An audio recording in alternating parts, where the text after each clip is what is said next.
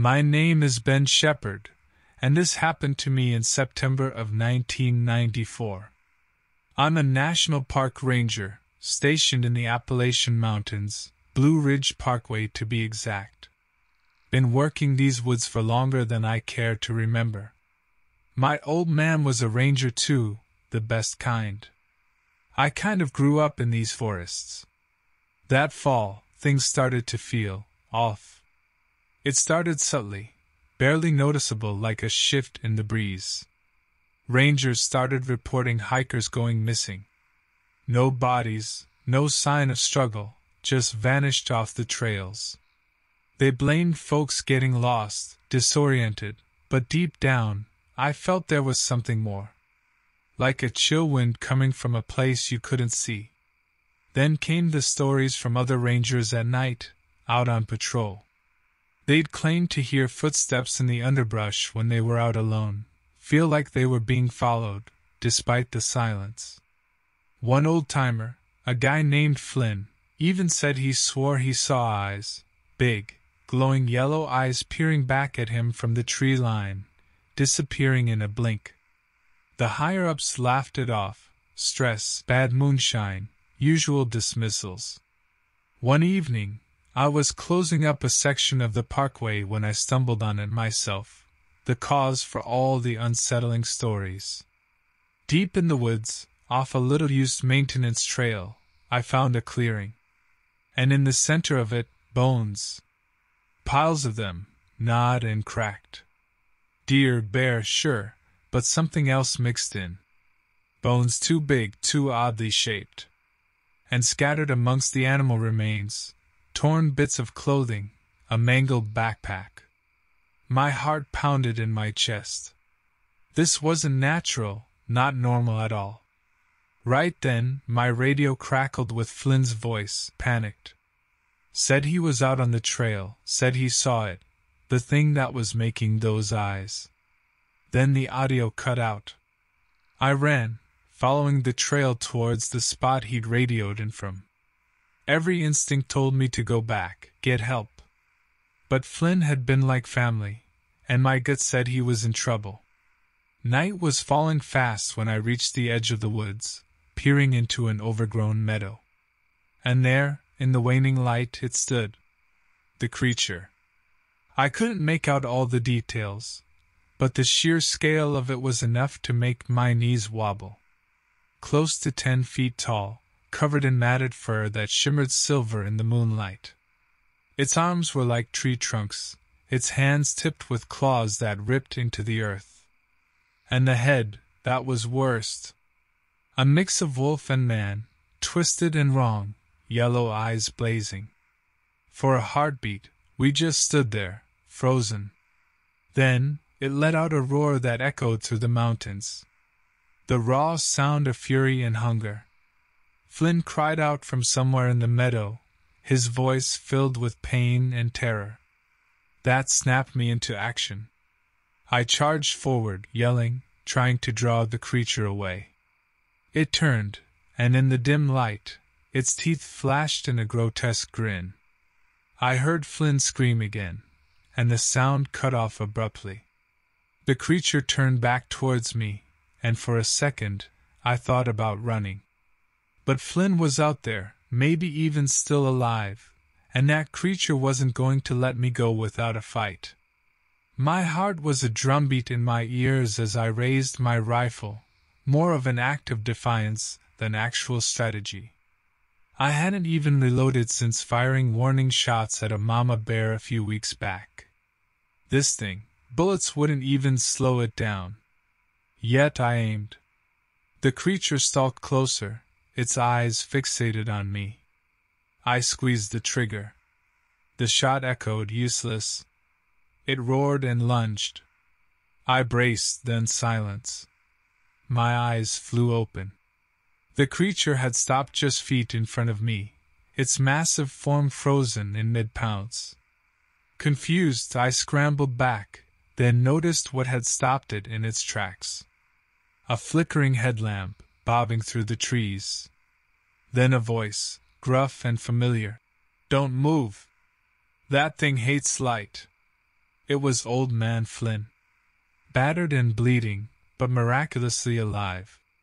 He dragged himself into view, one hand clutching the headlamp, the other an old, heavy duty flashlight. As he got closer, the creature hissed and retreated a few steps, its eyes narrowing against the concentrated beams. Keep those lights on it, Flynn croaked, his face pale. Come on, move! I didn't need telling twice. Stumbling to my feet, I shuffled towards Flynn. The creature watched, snarling, but the fearsome predator from before seemed held at bay by the harsh light, unable to approach. Flynn collapsed against a tree, and I knelt beside him. His leg was twisted at an unnatural angle, the bone jutting through torn skin. Hold this. He thrust the heavy flashlight at me. Aim it straight at that thing. With shaking hands, I took the flashlight. Its beams seemed to make the creature agitated, keeping it at a distance as I helped Flynn splint his leg, fashioning a makeshift support from branches. The whole time, we kept those lights trained on the predator, its snarls filling the night. When the makeshift splint was secured, Flynn slumped back, exhausted. They told me I was crazy, he rasped, a dark chuckle rasping in his throat. Said it was bears, wildcats. Never believed they'd believe this. Suddenly, the creature charged again, a blur of dark fur and aggression. We both screamed, holding the light steady. It stopped short, as if hitting an invisible wall. Then it paced back and forth, watching us with calculating eyes. Can't hold it forever, Flynn muttered. Sun's coming up soon, but. He trailed off, grimacing. We both knew what that meant. We'd be sitting ducks come daylight. That's when I saw it the fire lookout tower flashing on a distant ridge, an old beacon hardly ever used anymore. Maybe, just maybe. I laid out my plan to Flynn, a desperate gamble at best. He nodded slowly, wincing as he shifted his injured leg. Crazy enough to work, he grunted. With Flynn providing cover, keeping the creature pinned with the flashlights, I crept backwards into the undergrowth. I had to get to the base of the tower, unseen, if this had any chance. Inch by painful inch, I moved, the creature pacing restlessly as it sensed me pulling away. Then I was free of its sight line, scrambling towards the tower on my belly. The base of the tower was an old metal shed, filled with outdated equipment and forgotten maps. Inside, I struck gold flares.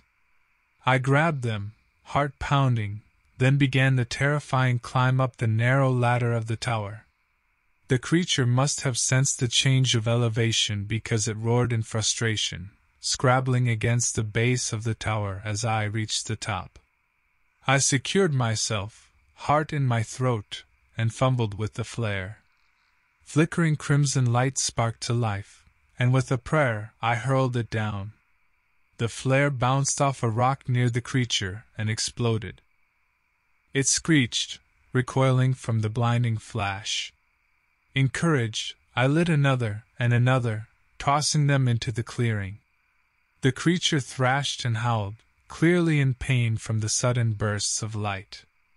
I didn't stop, my hands shaking as I fumbled for the last flare.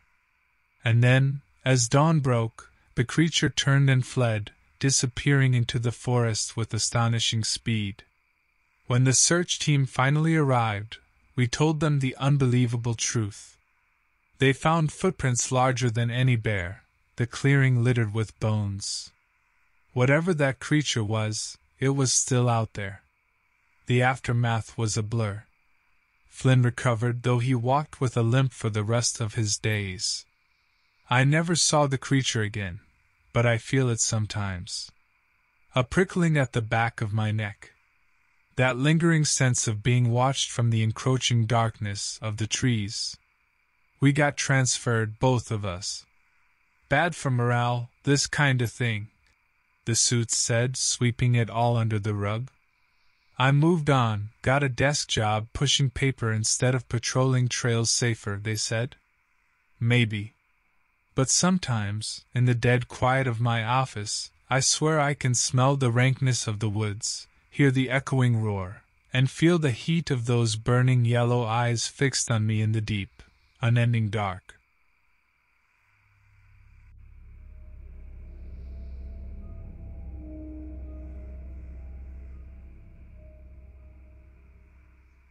The swamps of Louisiana, they always had an air of danger about them. I'd fished those waters my whole life, knew them like the back of my hand. My name is Elias. Some folks call me Swamp Fox, because I always seem to make it out, no matter how thick the tangled undergrowth gets or how high the water rises. But that summer of 1978, even I got more than I'd bargained for. I had my catfishing lines out near a little traveled bayou. It was a place I'd stumbled on a few years back, deep in the marsh, and the catfish there seemed to grow as big as gators. My pirogue was tied to a cypress knee, and I was dozing with a beer in hand. The sun was dipping low, painting the whole swamp in hues of blood orange and sickly green. That's when I saw it, a ripple in the water, moving against the current. I sat up, alert. Nothing out here that size should move like that. It surfaced again, perhaps twenty feet away from me.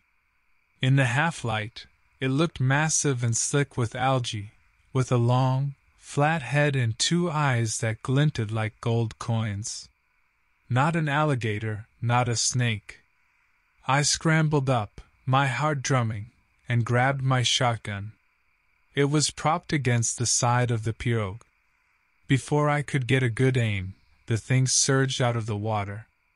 It rose high seven, eight feet tall, and I realized what it was in a burst of horrified recognition a catfish. But not like any catfish I'd ever seen, or even dreamed of in my worst nightmares. Its whiskers were as thick as tree roots, its mouth a gaping maw that could swallow me whole. The sheer size and wrongness of it struck me speechless even as it slammed down into the water right beside the boat. The pirogue rocked violently. My shotgun went clattering into the swamp, disappearing with a disheartening splash. I stumbled, barely managing to keep my balance as water sloshed over the sides. Terror lent me speed. I fumbled for the outboard, yanking the starter cord, cursing as the engine wheezed and coughed but failed to catch. The catfish resurfaced beside me, its mouth snapping at the edge of the boat. I grabbed the paddle, struck out blindly, aiming for its gleaming eye. It gave a hiss, like air escaping a broken pipe, and pulled back, the blow glancing off its monstrous head. I dug the paddle in and pushed back, trying to put distance between us, but the pirogue felt sluggish, weighed down in the stern. My stomach lurched as I realized the thing had its jaws clamped around the outboard motor. The wood of the pirogue groaned and splintered. Another surge, and I lost my balance entirely, tumbling into the murky, chest deep water. Panic threatened to drown me, but something cold and primal deep in my gut took over. I thrashed to the surface, gasping, my eyes frantic. There it was, a shadowed bulk circling me, its fins cutting the water like knives. I splashed towards the cypress tree where my boat had been tied, every nerve screaming. My fingers scrabbled on the thick, wet roots and I hauled myself upwards.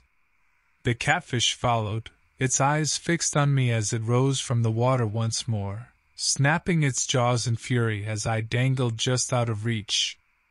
I scrambled higher up the tree, the rough bark scraping my palms. Below, the relentless creature thrashed and battered the trunk. Heart pounding in my ears, I realized I was trapped. There was nowhere to go but down, right into those waiting jaws. A glint of metal in the water caught my eye, my fishing tackle box wedged in the cypress roots. Inside, I had a heavy hunting knife, a lucky charm from my great granddaddy. I stretched out, reaching for the box with trembling hands, not daring to take my eyes off the monster below. I managed to dislodge the tackle box, fumbled with the latch, and pulled out the knife, its hefty weight grounding me in the moment. The catfish lunged forward, a mountain of scales and muscle. I screamed, more a war cry than a sound of terror, and jumped. It all happened in a rush. The impact as I hit the water again, the pain as teeth glanced off my arm, the burning in my lungs, and then I was slicing wildly with the knife. I felt the blade hit something solid, then slide and slice again. I surfaced choking, my vision blurring. The catfish was thrashing wildly, dark shapes churned the water. I couldn't tell if it was blood or just the mud stirred up in its frenzy. With a sob, I hauled myself back onto the cypress roots, clutching the bloodied knife and gasping for breath. The thrashing slowly subsided. I didn't dare look. The sun was sinking below the horizon, casting the world in an eerie crimson glow. Swamp mosquitoes whined in my ears. I stayed frozen on that root, shivering, waiting for the creature to reappear, but the swamp remained eerily quiet. As darkness fell, I found a length of rope in the wreckage of the pirogue and used it to haul myself higher up the tree. I spent the night there, clinging to the branches with one arm while the other ached with what I feared was a nasty bite. Sleep, of course, was out of the question. In the gray light of dawn, I lowered myself back down, every muscle screaming. The catfish was gone. There was no trace of it, save for a few glistening scales shimmering dully in the swamp mud. I staggered to the remains of my boat, retrieved a tarp, and fashioned a makeshift bandage for my wound. My teeth chattered as I pushed off back towards civilization, not sure if I was delirious from fever or the shock of it all. The tow truck driver gave me a long, disbelieving stare when I finally hailed him down on a gravel road, hours later. I must have been a sight, covered in mud, blood, and swamp water, clutching my granddaddy's knife. But he didn't say a word, just took me straight to the hospital. Word got around after that. Folks thought I was spinning tales, or had gotten into a mess with bootleggers. I didn't bother to correct them. Some things, you just have to see to believe, and even then, your mind tries to tell you it's all a bad dream. I still fish sometimes, but I stick a lot closer to the beaten path these days. Never did go back to that bayou. That catfish, it could still be out there, lurking beneath the muddy water, growing bigger every year, waiting.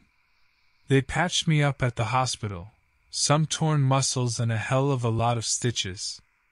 I even managed to convince the doctor a gator had gotten me, easier to explain than the truth. I stayed with my cousin in town for a while, Jumpy, haunted by the gleam of those catfish eyes in my sleep. Couldn't shake the feeling that I wasn't done with the swamp creature, that it was somehow still connected to me. News traveled back to my reservation. The elders came to see me, listening intently to my story. My grandfather, a man known for his wisdom and few words, simply nodded gravely and said, Biogwa. I'd never heard the name. But something in his tone, the deep respect laced with a hint of fear, told me this was more than just a monster tale. Later, when we were alone, my grandfather explained. The Ogwa, he said, was an ancient spirit, a guardian of the watery places. It took many forms, but some said the catfish was its favored guise. In times long ago, when the tribe lived in those same bayous, the Ogwa had protected them. But as the world changed, as men forgot the old ways, the balance had been broken. I struggled with that. Was this some kind of punishment? Or a warning? The thought of that creature, driven by hunger or rage or something even more unknowable, sent shivers down my spine. Despite the gnawing terror, a strange determination began to grow in me. If the Ogwa was out of balance, maybe I could help bring that balance back. Some old debt of kinship, maybe, from my ancestors to its kind. Weeks turned into months. I healed, grew stronger. Spent my days fishing, not for sport, but for sustenance. I left offerings in the swamp fish, cornmeal, even tobacco, as my grandfather instructed. I spoke to the water, to the trees, apologizing for the arrogance of men, and promising respect for the old ways. There was no sign of the massive catfish, but as the rituals became habit, a feeling of peace began to replace the constant dread. Then came the storm. Hurricane season brought a surge that flooded the whole region. Evacuations were ordered, but I dug in, stubborn and certain of my path. From my vantage point, a small shack on stilts passed down in my family for generations, the storm had a monstrous, living quality to it.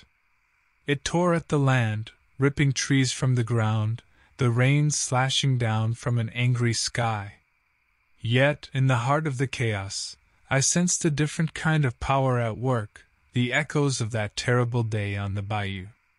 Night fell in the height of the storm, the wind screaming, the shack groaning and shaking. That's when I saw it. Bursting through the flooded cypress grove came the ogwa, not as a catfish fully materialized, but as a swirling vortex of water and wind. It ripped through the trees like they were matchsticks, heading straight for my shack, some primal force drawing it towards me.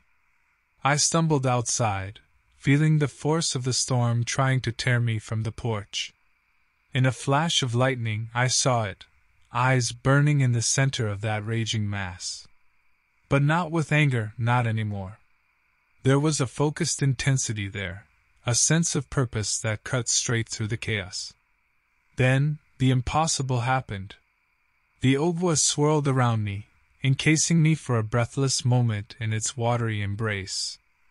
I felt a surge, a jolt like static charge, and in that instant I understood.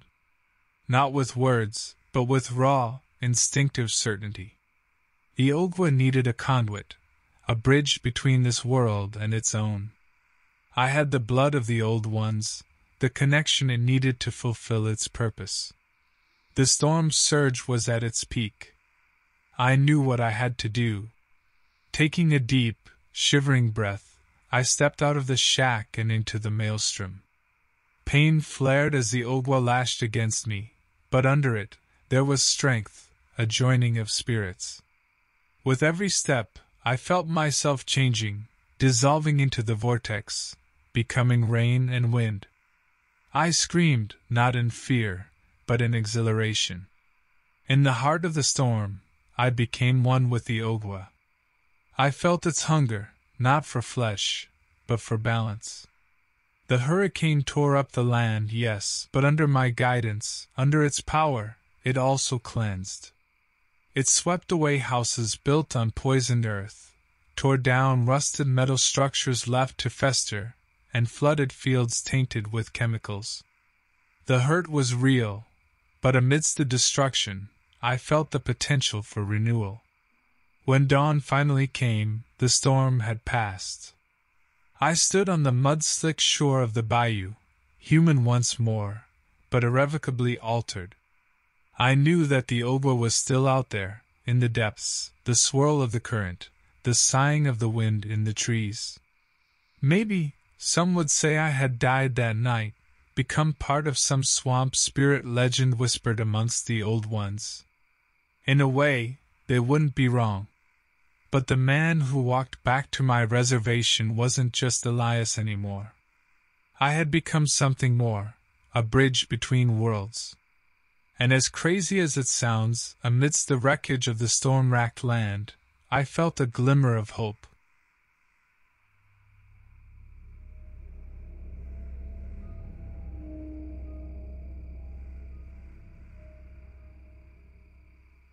I settled back into the driver's seat of my truck in 1994, just off Old Highway 14 in Wyoming.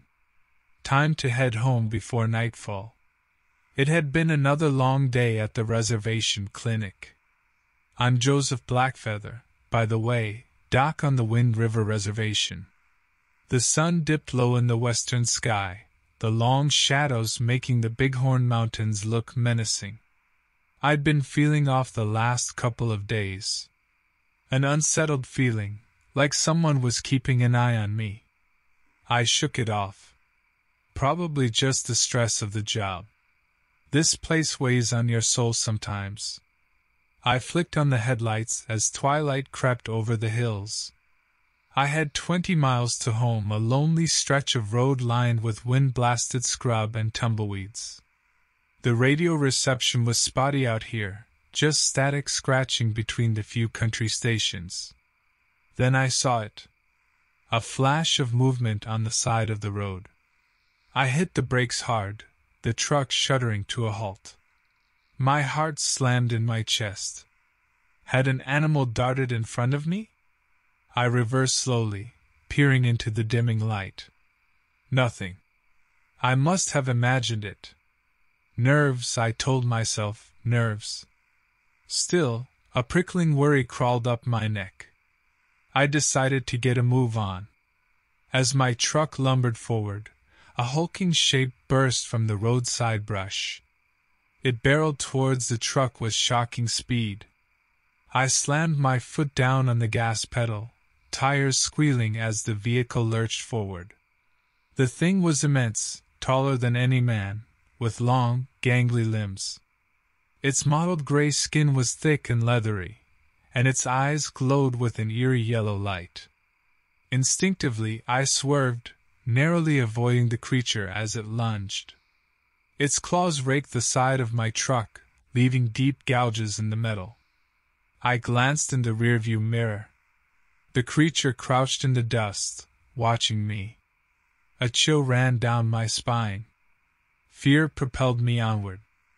I didn't know what I'd just seen, but I knew I didn't want to find out.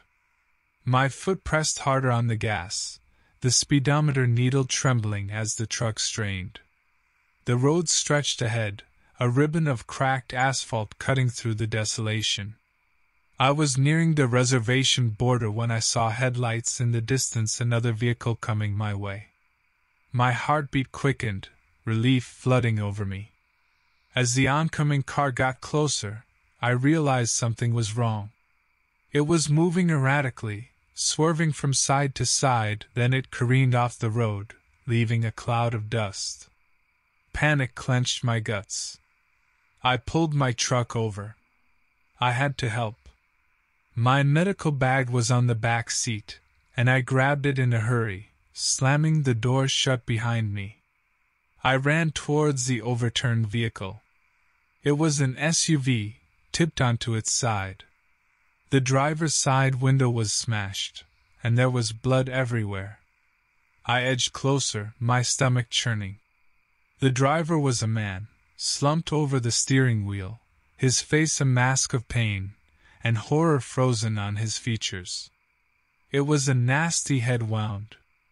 I had to get him out of there.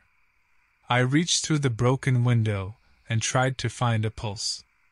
Nothing. My eyes flicked to the rearview mirror. Through the swirling dust, I saw it, the creature. It crouched on the edge of the road, watching the scene with its burning eyes. I stumbled back, dread washing over me. The creature was somehow responsible for this. But how? It wasn't natural, whatever it was. And then I remembered the stories. Grandpa used to tell me tales by the firelight, old Lakota legends about creatures that lurked in this desolate land. Stories about the Wakinyan, the Thunder Beings. They were powerful, dangerous, to be avoided at all costs. I looked back at the overturned SUV. Had this creature, had this Wakinyan caused the accident? Were the old stories true? The creature moved. Its loping stride carried it across the road towards me. I bolted back toward my truck, fumbling for the keys with shaking hands. I jumped behind the wheel, slamming the door just as the creature reached the truck. Its claws raked along the metal, the sound grating my nerves. I started the engine, the headlights cutting through the darkness. The creature crouched in the beam of light for a moment, its eyes reflecting yellow, then it backed off into the shadows. I reversed, my eyes darting from the road to the rearview mirror, half expecting the creature to give chase. But it seemed to have vanished. Shaking, I put the truck in drive and tore away.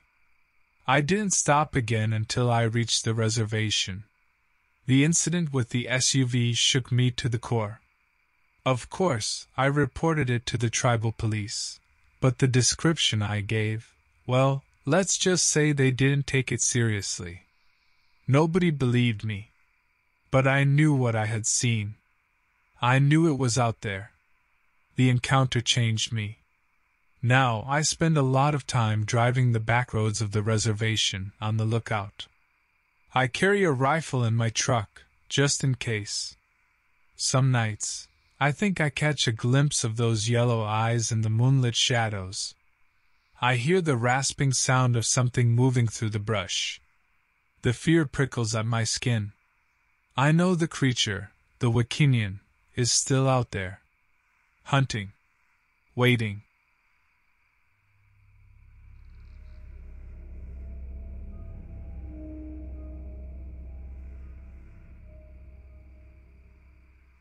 Always thought I was smart about the outdoors.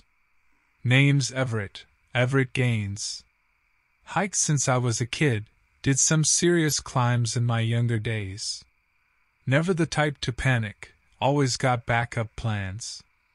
But what happened up in those mountains? Well, let's just say even the best planning won't save you when the wilderness itself turns against you. It was 1991 and I was itching to explore a remote trail in Olympic National Park. Not the popular stuff, but an old logging route, barely used anymore. Figured I'd have the solitude I craved. First couple days were pure heaven. Lush old growth rainforest, silence so thick you could almost touch it. But on day three, things started to shift. It wasn't obvious at first. Just the feeling of being watched, the air getting heavier somehow. Then the wildlife started going nuts. Not scared off, but agitated. Birds screeching in crazy patterns, squirrels chittering nonstop. My instincts were screaming, but I chalked it up to nerves. Until that night. Woke from a dead sleep to an earth shaking howl, like a wolf, but deeper, and something about the cadence, Wrong. Then it came again, closer, and a second joined in, a horrifying duet echoing through the valley. I lay frozen, a cold sweat starting despite the sleeping bag. Whatever those things were, they weren't natural. Dawn couldn't come fast enough. Broke camp in record time, heart thrumming a panicked rhythm. But my planned route back, it was wrong. Trees weren't where I remembered them, the undergrowth thicker, blocking paths that should have been open. Every time I thought I'd regained my bearings, it'd shift again, subtly but definitely. By afternoon, I was forced to admit the truth I was lost. Not just misplaced, but well and truly turned around in a forest that seemed to be twisting itself in defiance of all logic. Panic threatened to bubble up, but I fought it back. Got to my high ground, trying to pick out landmarks, anything to get a fix. That's when I saw it. Across the ridge, a figure moving through the trees. Too tall to be human, bulky, its form weirdly misshapen. It saw me too, paused, head tilting bird like. Hope flared. Help, even if it was some crazy recluse out this far. But then it turned, loping into the undergrowth with impossible speed, moving in that jerky, inhuman way that set off every alarm bell I had. Knew then that whatever was out there, it didn't want to be found. And now, I was being hunted.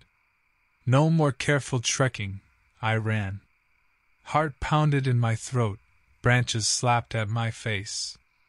The forest seemed to fight back, roots tripping me, thorns tearing at my skin. The howls got closer, echoing around me now, a horrifying chorus. Stumbled onto another logging road, abandoned but blissfully wide open. I followed it, gasping for breath. Every time I looked back, I caught glimpses of movement just at the edge of the trees, dark shapes flitting like monstrous shadows. By some miracle, the road led me to a ranger station just as the sun dipped below the treeline. Burst through the door, babbling my story to the startled ranger inside. I was a sight, I know, torn up, bleeding eyes wild. He got me calmed down a little, gave me water, called for backup. That's when the other ranger came in, face pale. Said some hikers had found a campsite a few miles back. Shredded tent, gear scattered, blood splatters, and a set of footprints no animal they knew of could have made. That night, huddled by a crackling fire with armed rangers pacing outside, the howls started again. Distant, but I knew, with a bone deep certainty, they were celebrating. The rangers couldn't hear them, dismissed it as coyotes, but I knew better. The forest had marked me, claimed me as prey, and it wasn't done yet. Search teams combed those woods, found nothing. No bodies, human or otherwise. That mangled campsite was the last trace of anything wrong. Officially, those folks were declared missing, likely victims of an animal attack. But those of us who were there, we know what we heard. It's been years now. I hike local trails, always with a group, but I'll never head into the deep woods alone again. Can't shake the feeling that on starless nights, with the wind in the trees a certain way, those howls might echo in my nightmares. And if I ever catch a shifting glimpse of something just beyond the light, a monstrous shape with eyes that burn like hunger.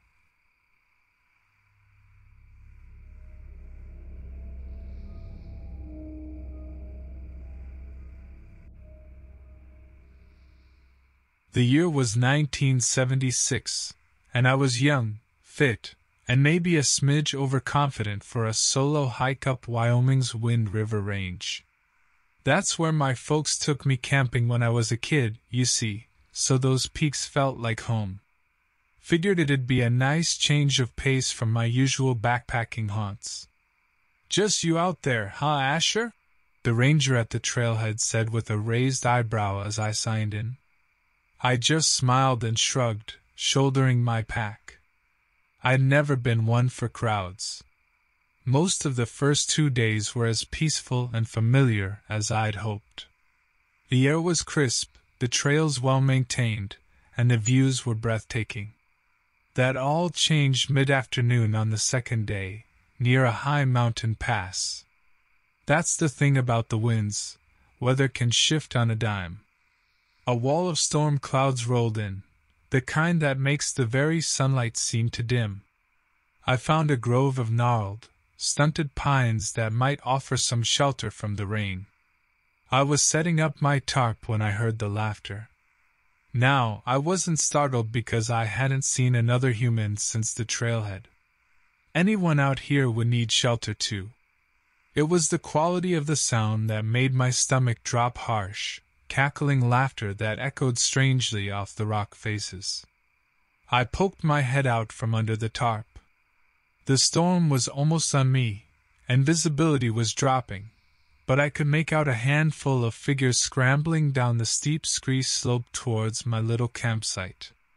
There were maybe five of them, dressed in ragged clothes that looked out of place in the mountains, even if they were hikers. Their movements were too quick, too jerky for normal people. The laughter was getting louder, and it was starting to make the hairs on the back of my neck stand on end. It didn't feel playful, it felt predatory. I didn't wait around to find out their intentions.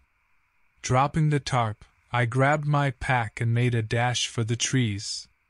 One of the figures saw me move, and a sharp shout went up, followed by the sound of heavy boots pounding across the rocks. The pines weren't much cover, but the terrain was broken with gullies and boulders. I used that to my advantage, zigzagging back and forth, trying to make myself a hard target, and hoping the storm would cover my tracks. Every time I thought I'd lost them, a flicker of movement in the distance would send a fresh surge of panic through me. One of them got uncomfortably close. I heard the grunt of effort as he leaped clear across a gully I had to scramble down. I caught a glimpse of his face as he landed sharp, almost feral features beneath a mat of dark, greasy hair.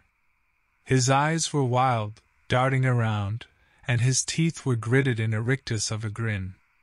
I stumbled out of a stand of trees, trying to get my bearings.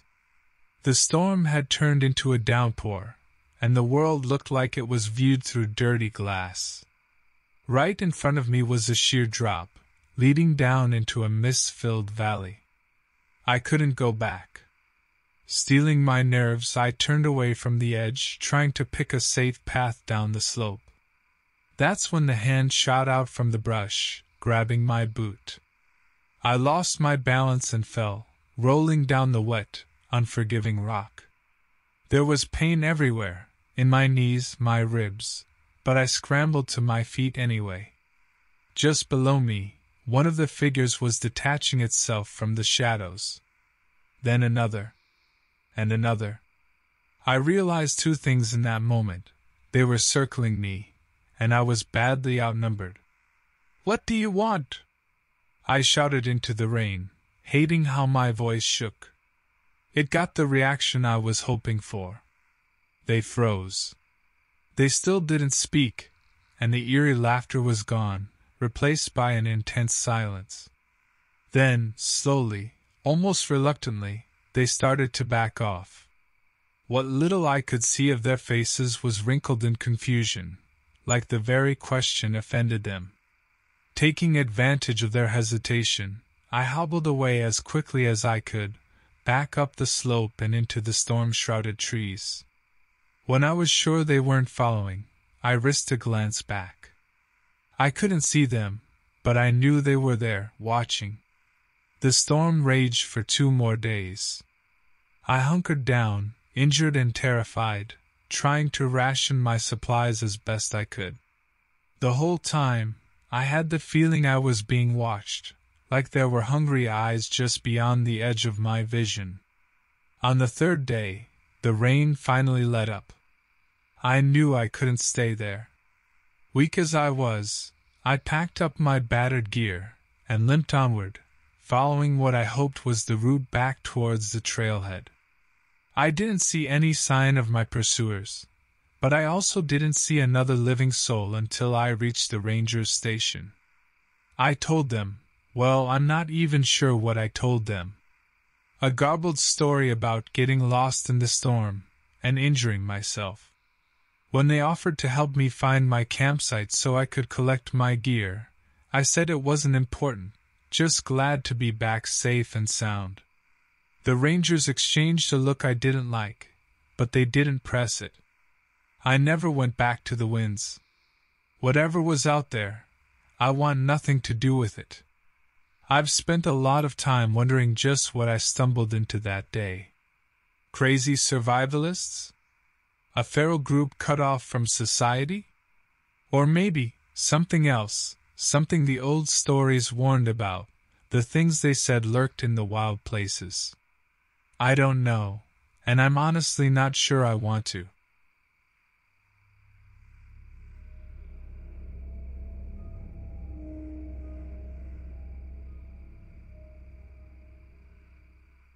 This happened to me on June 24, 1993. My name is Wyatt Reed, and I've been with the police force in Ironwood, Wisconsin, for nearly 10 years now. Most of the time, life here is peaceful. Ironwood is nestled in a scenic part of the state, surrounded by the woods and lakes bordering Michigan. The type of place where folks leave the keys in their cars and rarely lock their doors at night. I like it. I like the sense of community and the slow pace of life. It's a good place to raise a family. Anyways, this night started like any other, at least until I saw that minivan.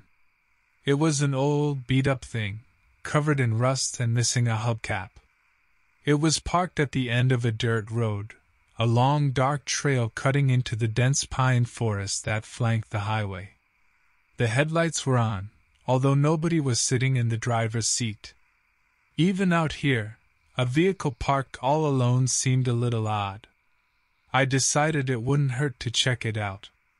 My gut was telling me something wasn't quite right. Leaving my cruiser by the highway, I pulled my flashlight out and approached the minivan.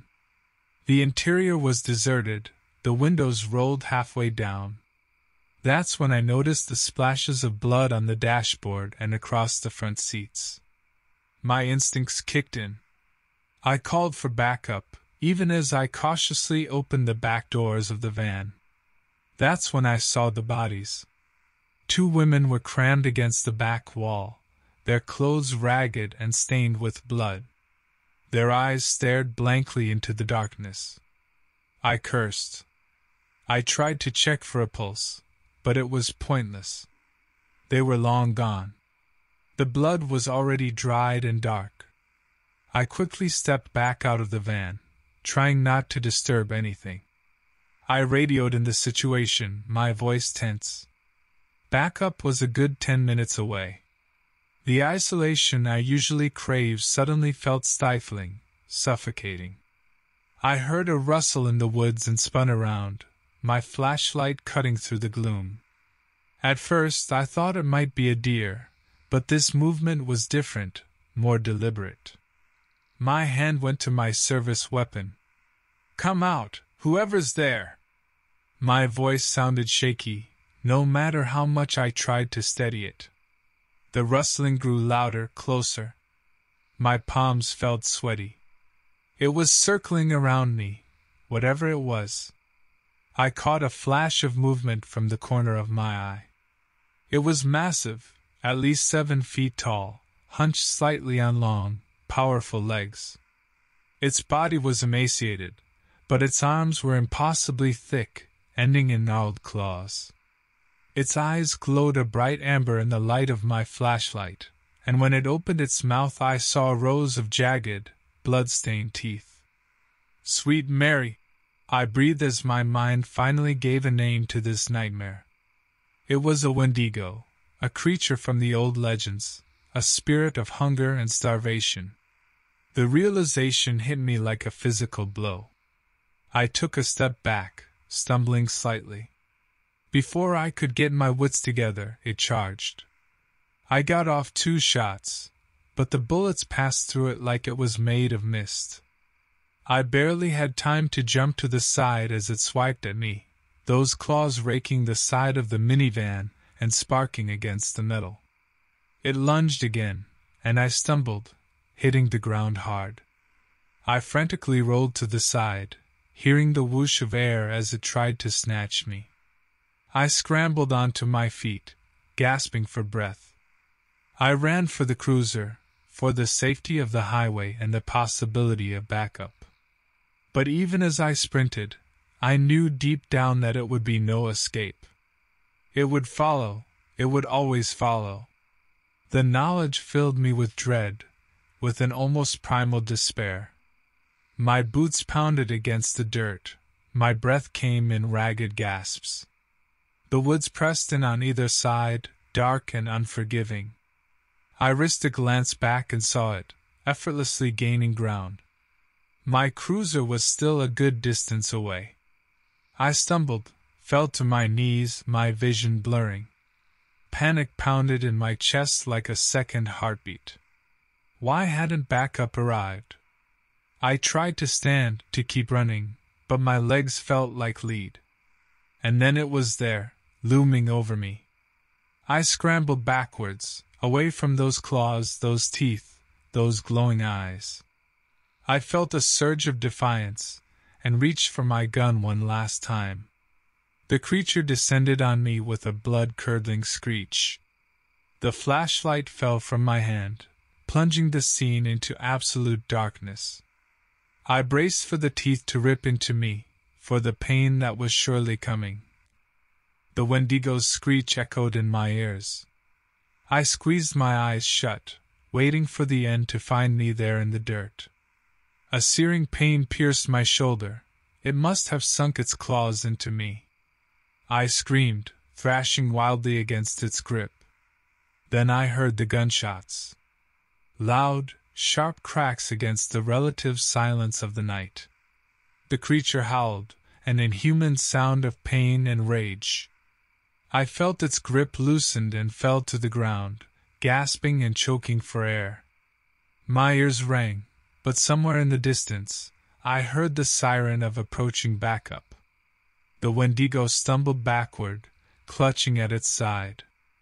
I could see dark liquid staining its fur in the flashing red and blue lights. Wyatt? Wyatt, answer me, damn it! That was Sergeant Peterson's voice, rough, filled with panic. I tried to call out, but nothing came out except a hoarse croak. My flashlight lay a few feet away, still beaming.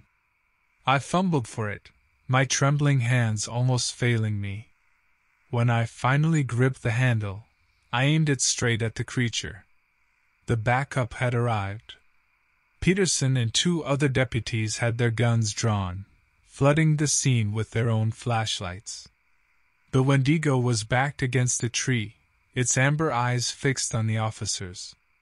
For one horrifying moment, it seemed to consider attacking them, despite being injured, despite being outnumbered. And then, with an ear splitting shriek, it turned and vanished into the darkness. Peterson rushed toward me, his face etched with worry. Wyatt, you all right, son? He grabbed my arms, scanning me frantically for injuries. I managed a weak nod, still struggling to catch my breath. My shoulder was burning white hot with pain. I looked down and saw that my uniform was soaked with blood. Ambulance is on the way, Peterson said, his gaze never leaving mine. Hang in there, Wyatt. Then the world faded into a haze. Sirens wailed, voices surrounded me, and then, mercifully, darkness claimed me. I woke up in the hospital, my shoulder bandaged, my head still spinning. Peterson was sitting beside the bed, an unreadable expression on his face. You were lucky, Wyatt, he said, his voice gruff. That thing could have torn you to shreds. I tried to speak, but my throat was raw. Peterson handed me a glass of water, which I gratefully gulped down. The women, I finally rasped out. We couldn't find them, Peterson said grimly. A wave of nausea washed over me. Gone, vanished into the night. Devoured by some insatiable monster. The doctors kept me in the hospital for two weeks. They stitched up the ragged wounds on my shoulder, gave me antibiotics and painkillers, and monitored me for signs of infection, both physical and otherworldly but I never got sick. Not like the legends say you do after encountering a Wendigo. Maybe the bullets had weakened it, or maybe I simply got lucky. When I was released from the hospital, my whole world felt off kilter. The normalcy of my life was shattered. I couldn't shake the image of those lifeless eyes in the minivan, or the creature's amber stare fixed on me moments before the attack. The nightmares became a constant companion, stealing my sleep and replacing it with relentless fear. The town didn't know what to make of it. Officially, the incident was reported as an animal attack. Most folks accepted this. A bear or a mountain lion, maybe. Those who knew me, or knew about the legends, they gave me sympathetic looks, but even they struggled to truly believe. Peterson, bless him, kept my secret. He knew a cover up was necessary, for public safety and, frankly, for my own sanity. The attack stopped. The creature, whether wounded or simply frightened off, retreated back into the shadows. Life in Ironwood slowly returned to its quiet pace. The keys found their way back into the cars, and the doors were once again left unlocked at night. But I couldn't forget. I carried the weight of what happened like a stone in my gut. It changed me, made me hyper-vigilant, distrustful of shadows and the quiet sounds of the night. Made me buy heavy-duty blackout curtains for my bedroom windows. I went back to work, did my job, but my heart wasn't in it anymore. The thrill of police work, of protecting my community, was soured by that night in the woods. A year later, I walked into Peterson's office and handed him my resignation letter. He didn't try to talk me out of it, he just clapped me on the shoulder and wished me well. I packed my things into my car and drove away from Ironwood without a backward glance. I moved down south, to a bustling city where I could lose myself in noise and crowds. Took a job as a security guard in a big apartment complex. The nights are still the hardest. When the wind howls outside my window, or a floorboard creaks in the hallway, I reach for the hunting rifle I keep hidden under my bed. Just in case. Truth is, no matter how far I run, or how much time passes, I know that the Wendigo is still out there. It's a part of me now, a shadow that clings to my soul. Some scars you can't see, but they run deeper than any wound inflicted by claws or teeth. I don't know if I'll ever find peace, but I keep searching. And I keep waiting for the day when those glowing amber eyes find me again.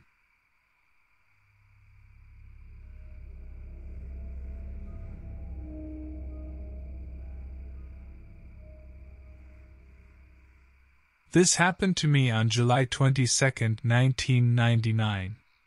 I was fixing up my family's old summer cabin up by Lake Superior in Minnesota. Woods all around, and those were my woods. I knew every trail by heart. Name's Everett. That summer, something felt off. Like the forest was watching. The birds weren't singing much, the usual critters rustling around seemed quieter. But I shrugged it off, figuring it was just me getting old and paranoid. A couple of days later, I was taking a break from sanding the porch, having a smoke out back. There's a little stream nearby, and that's when I saw it footprints by the water. But they weren't human. These prints were bigger than my whole hand, and the toes were all wrong, long and splayed out wrong. My stomach dropped a little lower when I noticed the claw marks in the soft mud.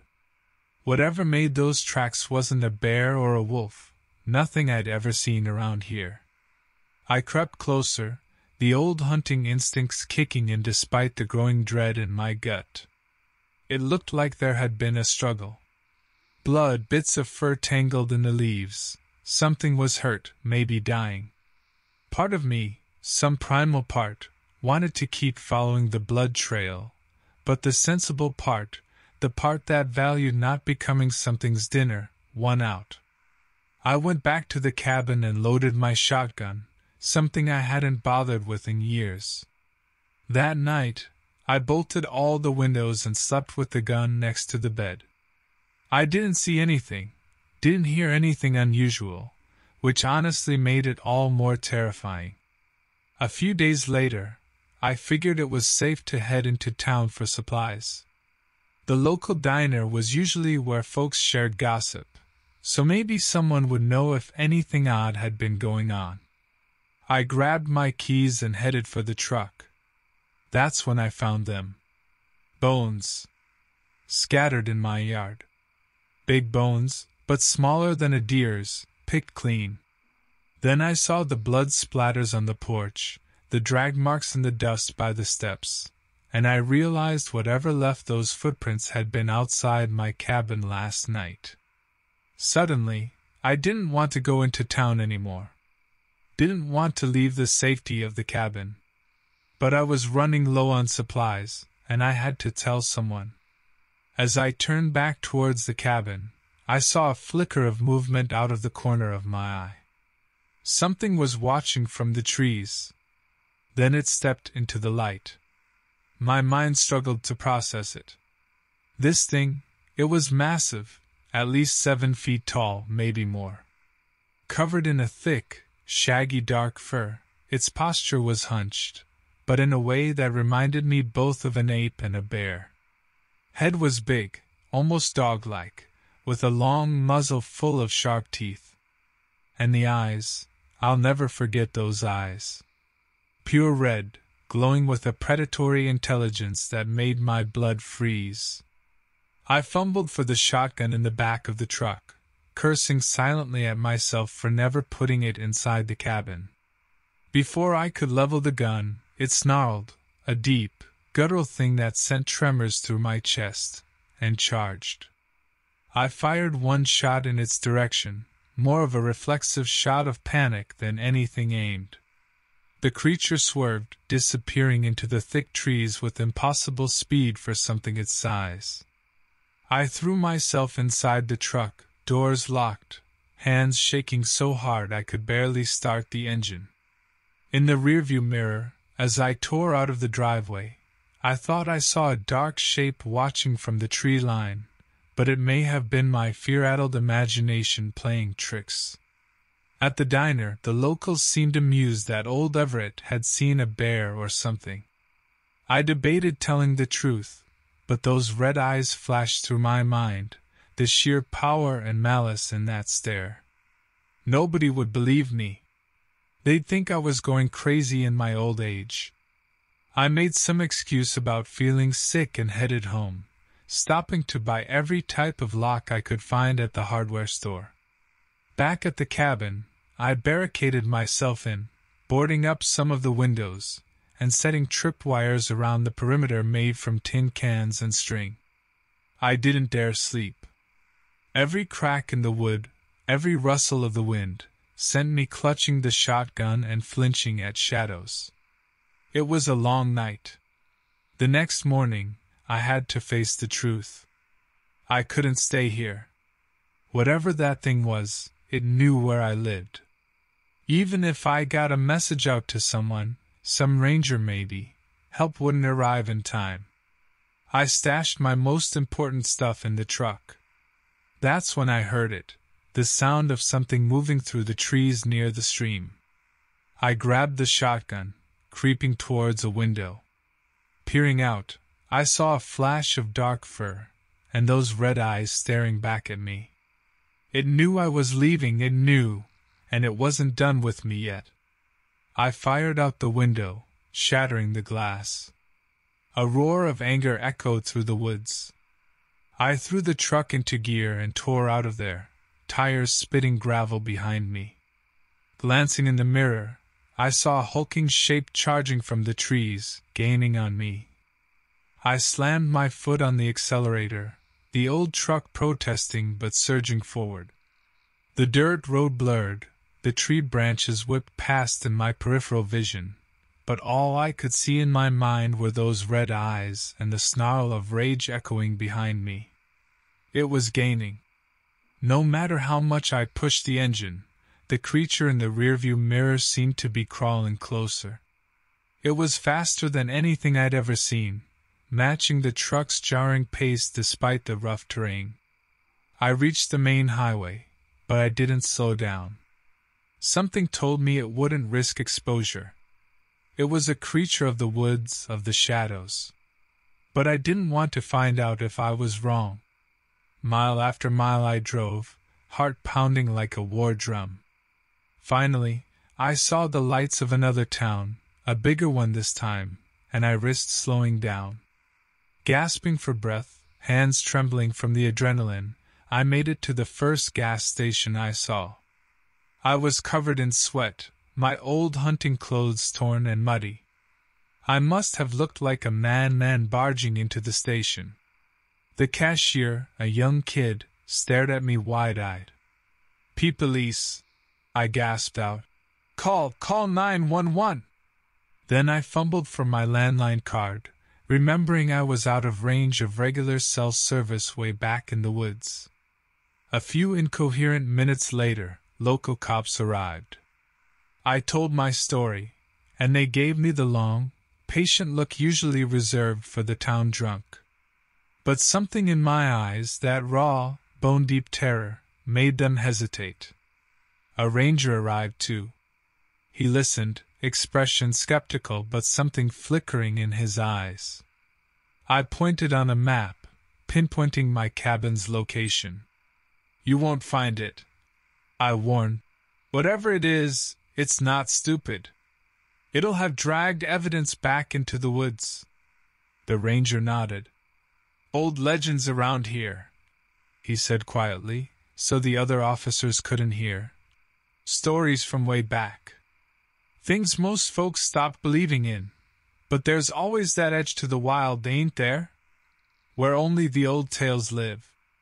They insisted on driving me back to that dirt road, the entrance to my woods. I wouldn't get out of the police cruiser, even when they saw the shredded remnants of my tripwires and the bloodstains on the porch. It was enough. Even for the skeptics, it was enough to see the look on my face and know I wasn't lying. The ranger took over from there. Whatever he reported to his superiors, it was enough to get them to shut down that stretch of woods. Officially, it was bear sightings, maybe a rabid animal, enough to scare off tourists and hikers for a good long while. I never went back, of course. Sold the land the first chance I got, and took the money and ran. I moved south, a rented apartment in a big, crowded city where the closest thing to wildlife is a pigeon. The nightmares faded eventually, that relentless feeling of being hunted. Sometimes I still see the flicker of red in the headlights of passing cars, or the massive, dark shape hulking in the shadows of an alley, and my breath catches. People ask what happened out there. What did I see? I give a vague answer animal attack, wild dog, whatever makes sense to them. Truth is, I don't know for sure what that creature was. Sometimes I look up old Native American lore about the area, the legends the ranger hinted at. Skinwalkers, monstrous trickster spirits. They fit, in a terrifying way, but don't offer any real answers. And then there's the other thought, the one that creeps in some nights when the city noise can't quite drown out my racing pulse. Maybe there isn't an answer. Maybe it wasn't any legend come to life but something else. Something that's always been out there in the dark fringes of the forest, preying on the unlucky, on those foolish enough to venture out alone. Something that got a taste for me, and is just biding its time, waiting for when I foolishly believe myself safe. I try not to dwell on that thought too much. It's been over twenty years. I figure if it was going to find me, it would have by now. Cities have their own dangers, sure, but nothing with glowing red eyes and a roar that can split the quiet of a summer night. I sleep with the lights on, and my windows have pretty heavy duty blinds. Just a precaution, of course. But every now and then, when the wind howls in a way that's just a touch too wild for the city, I pull the blinds down a little tighter, and I listen. And sometimes I think, just maybe, I hear an echo of a footstep outside, heavy and long, and a low, rumbling growl fading into the distance.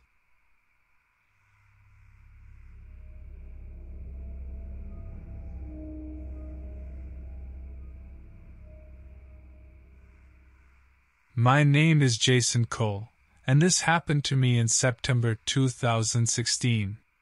I'm the type most folks assume has a 9 to 5 office job and a mortgage. You wouldn't look at me and think I've seen the things I have. But I'm not the desk jockey type. I'm part of a team they keep in the shadows. The kind they call when the regular channels fail, when things go bump in the night, and no one else has the answers. We were called into Yellowstone National Park that summer. Series of bizarre animal deaths was the official explanation. Mutilated elk carcasses, drained of blood, no predator tracks in sight.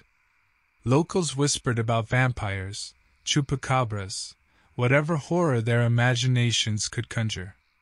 My three man crew knew the official explanation was always a smokescreen.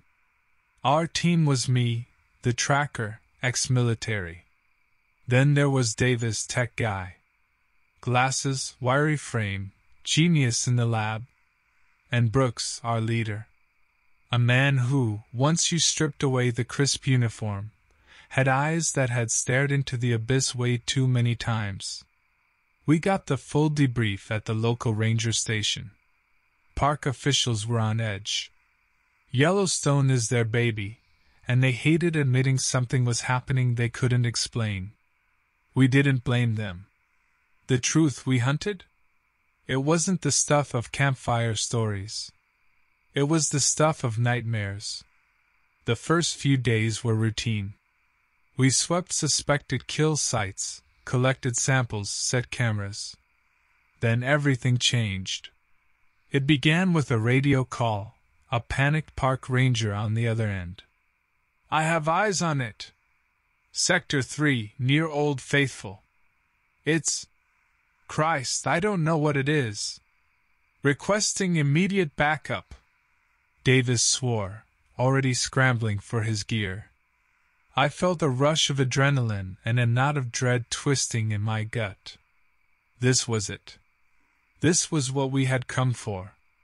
We piled into the jeep, Davis navigating. He pinpointed the ranger's coordinates, and we tore off down a dirt track. When we arrived at the scene, I'll admit my nerves were jangling tight enough to snap. Ranger Thompson was there, crouched behind his truck, pale as a ghost. Over there, he hissed, pointing a trembling finger towards the tree line. At first, all I saw were dark shadows. Then, a shape coalesced out of the gloom. Massive, at least eight feet tall at the shoulder, crouched like a predatory cat. As it stepped into the waning sunlight, I got a full view. Thick, matted fur, dark as midnight. A muzzle stretched too long, too many teeth flashing inside. Its limbs moved with an inhuman, sinuous power, like muscle and bone were molded from liquid. My training kicked in, years of facing the unknown distilling into a single moment of clarity. Get Thompson out of here! Brooks barked to me. He and Davis already had their rifles up. The creature was advancing now. Not a mindless animal, but a predator with intelligence blazing in its eyes. Then, as if sensing their intentions, it turned and bolted back into the trees with blinding speed. Go! Go! Go! Brooks roared. We chased that thing for hours. Davis tracked it on thermal, but it moved like a wraith, always one step ahead. Trails led us in circles, thermal signatures vanished and reappeared in impossible locations. It was playing with us, toying with its prey. The light was failing as we stumbled into a clearing and found our quarry waiting. Moonlight glittered on its fangs, reflecting in a dozen gleaming eyes scattered across its hide. Its mouth opened in a twisted mockery of a grin. Brooks raised his rifle.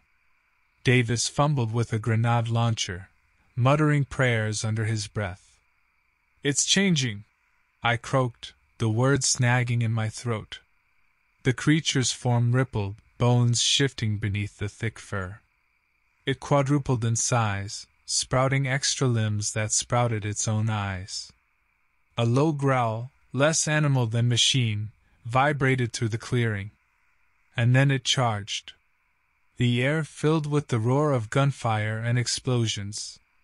Something huge and heavy bowled me over, knocking the breath from my lungs. I tasted blood. I scrambled for a weapon, for anything. Then nothing. Blackness. I woke up hours later, head throbbing. Brooks knelt beside me, his face etched with grim relief. Not far off, I saw Davis, his arm in a makeshift sling. The grenade, Brooks said, knocked it back, gave us time to retreat. Then his voice hardened. But it's still out there. We never got a clear shot. We tracked it for days, always a few steps behind. Finally, the order came from above extraction. They were pulling us out. We left Yellowstone with the beast still roaming its forests, and the image of those eyes, too many eyes, burned into my mind.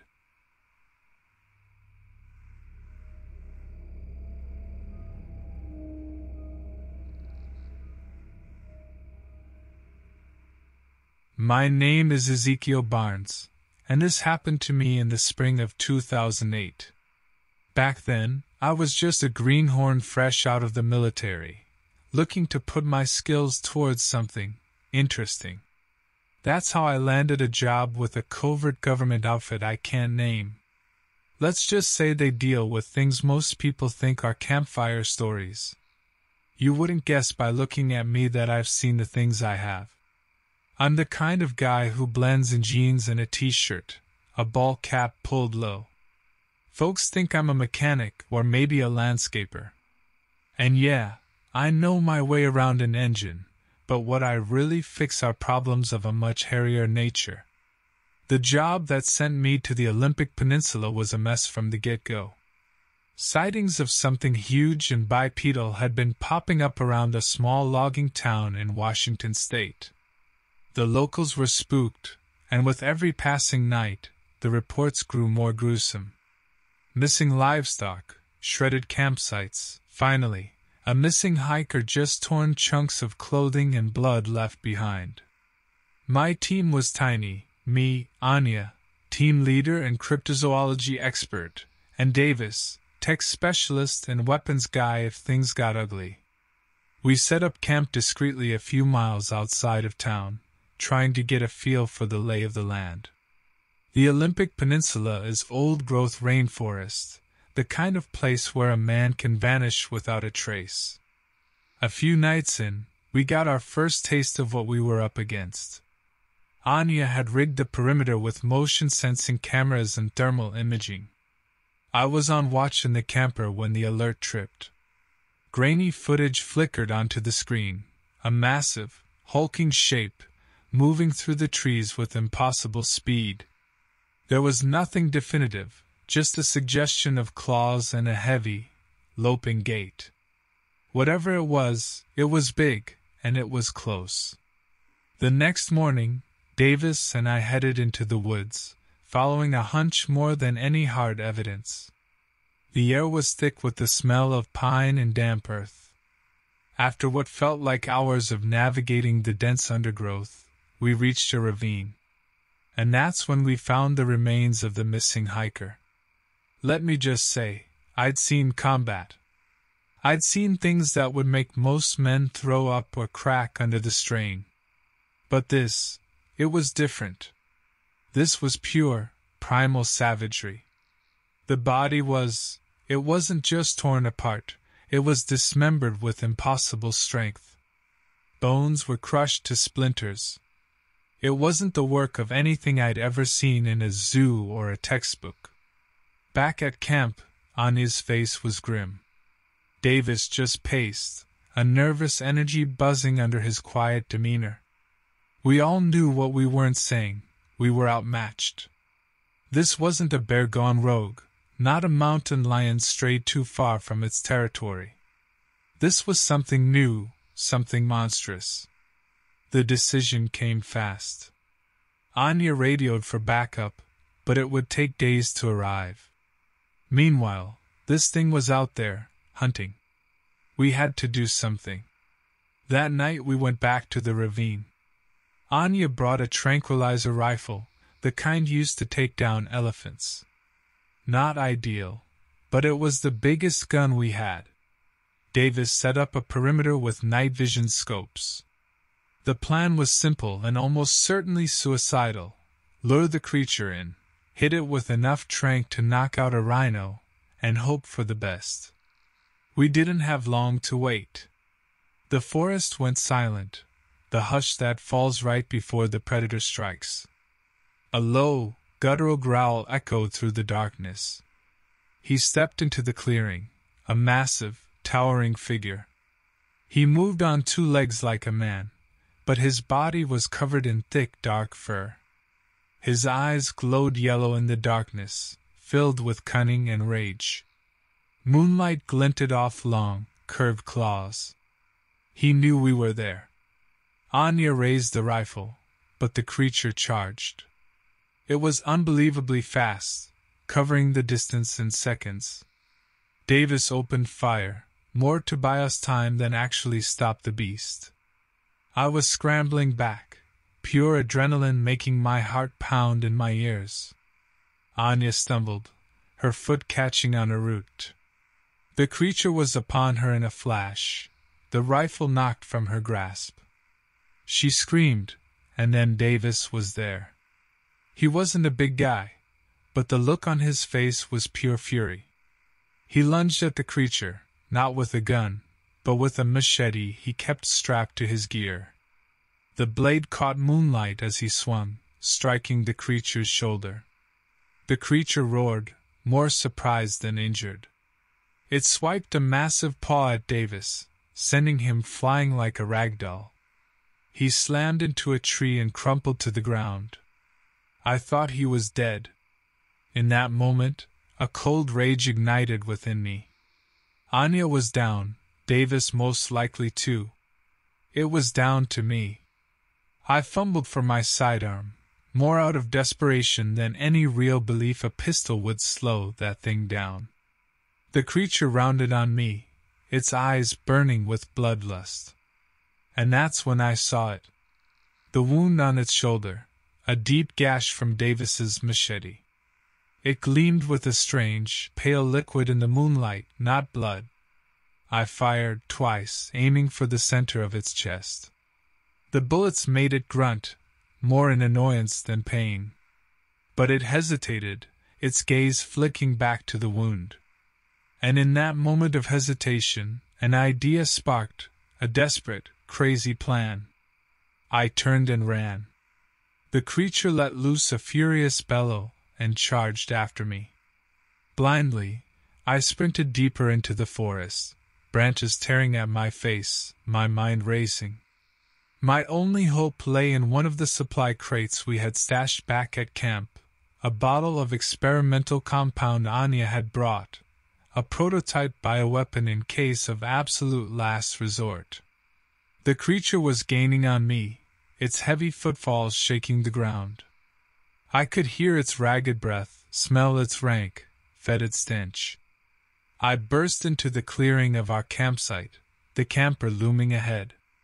Ripping open a supply crate, I fumbled for the vial of milky white liquid. It was designed to trigger a hyper aggressive immune response in anything it came in contact with, basically, make the target's body attack itself. If it worked even half as well as Anya hoped, it might be enough to take that thing down. The creature crashed into the clearing behind me. I turned, raised the vial, and hurled it like a grenade. It shattered against its chest, the viscous liquid splattering its fur. The reaction was immediate. It staggered, let loose a howl that was part pain, part fury. Its skin blistered and bubbled where the liquid touched. It thrashed, clawing at its own chest, as if trying to tear the burning poison from its body.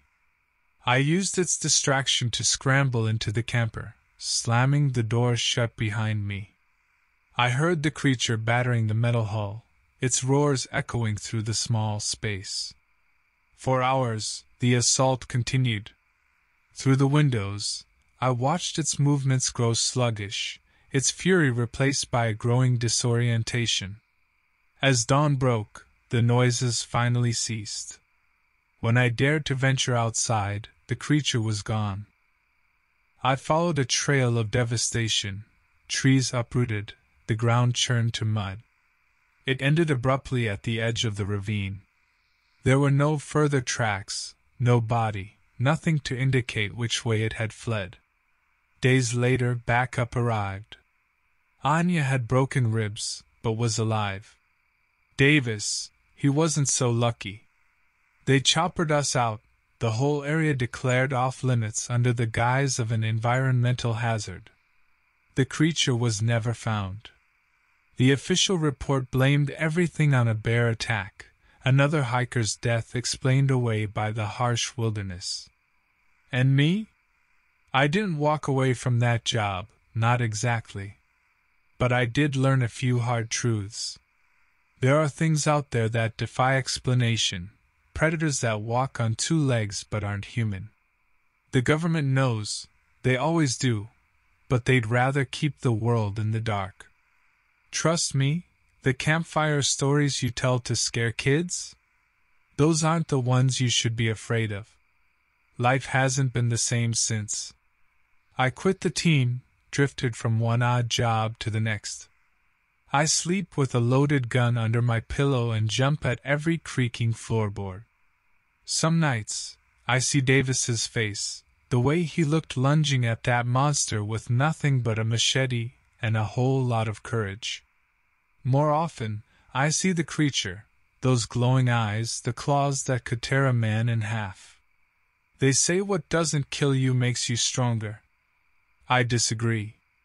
Sometimes it just leaves you broken, forever haunted by the things that lurk in the shadows, and the knowledge that no one will ever believe you.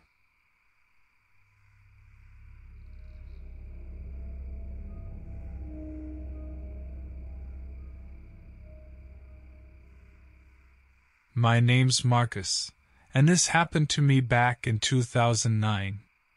I drive a long haul rig, crisscrossing this country more times than I can count. It's lonely work, for sure, but you see some amazing things, especially after the sun goes down. I shared the road with a whole different crowd at night. This particular route had been a milk run for a while. Florida oranges up to New England, then an empty trailer back down. Easy peasy, though the pay wasn't great. But hey, at least it kept the wheels turning. That August, I was hauling through the Ozarks, deep in southwest Missouri. Mountain roads, all twists and blind curves, not my favorite, especially in darkness. But it was late, and I was pushing to hit my deadline. I was nearly nodding off when I saw the hitchhiker just off the shoulder. A woman, hunched over, arms wrapped around herself like she was freezing. Now, I don't usually pick up strangers, but there was something about her that gnawed at me. Maybe it was how out of place she seemed, on that lonely stretch of road in the middle of nowhere. I slowed down, debating. Common sense said to keep driving. But then again, what if she was in real trouble? Might be worth the risk. I pulled over, flipped on the hazards. She approached my truck, and I got my first good look at her. She was older than I'd first thought, maybe late thirties. Her face was gaunt, eyes ringed with dark circles. Thank God, she rasped, her voice barely a whisper. Ride broke down on me miles back. Now, this seemed a little off, but it was late and I was tired didn't have the energy to argue. Get in, I said, unlocking the passenger door. She settled into the seat with a shivering sigh. You're a lifesaver. I was starting to think I'd be spending the night out here. Where you headed? I asked, pulling back onto the highway. Branson, she replied, voice stronger now. Got family there. She didn't elaborate. I didn't ask for details. Honestly, I was half asleep and just wanted to get to the next truck stop. Conversation drifted for a while. Mostly small talk, harmless stuff. But the longer she sat there, the more uneasy I felt. She wasn't giving off any bad vibes, just something was off. I couldn't place my finger on it. Glancing in the passenger mirror, I noticed something. Her clothes were caked in dirt and leaves, like she'd been scrambling through the woods, but I hadn't seen any car nearby. Strange. I decided to make my move. Listen, I got a level with you, no cell reception out here. I got no way to help if you really did have a breakdown. Her shoulders tensed. I. I know. I can walk it from here once the sun's up. My gut twisted. This whole situation was getting weirder by the minute, and I didn't like it. Actually, there's a town ahead. Motel, maybe a diner. We can get you set up there. No, please, she replied, her voice tight. I need to get to Branson. Look, I said, keeping my tone steady. We'll get you there eventually, but I gotta get some rest. It ain't safe driving like this. Her eyes darted to the side window, then back to me. Something like panic flashed across her face. I. I understand, she finally mumbled. Good, I thought. We were making progress. I found an exit a few miles ahead and pulled off the highway. The motel was just a sad looking place with flickering neon lights. But it would do for a few hours.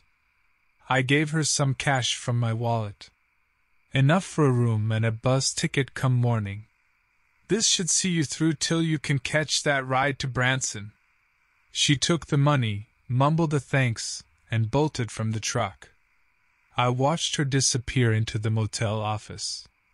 My mind was still buzzing, unable to shake that strange feeling she left me with. Before I could hit the bunk, a noise made me freeze. It was a muffled scream, coming from the motel. And it sounded a lot like my passenger. I jumped out of the truck and ran toward the motel. The door to her room hung half open. I burst in expecting. I don't know what. Maybe an attacker, someone holding her against her will. But the room was empty. No sign of a struggle, no sign of her. The window behind the ratty curtains stood wide open. A wave of confusion washed over me. Had she made a run for it? Why? The more I thought about it, the less sense it made. She'd begged for a ride, desperate for help, yet here she was, sneaking off into the night.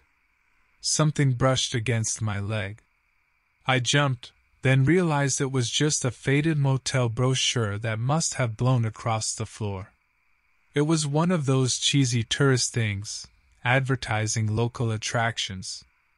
I scanned it absently caves, fishing holes, Civil War battlefields, the usual fare for these rural areas.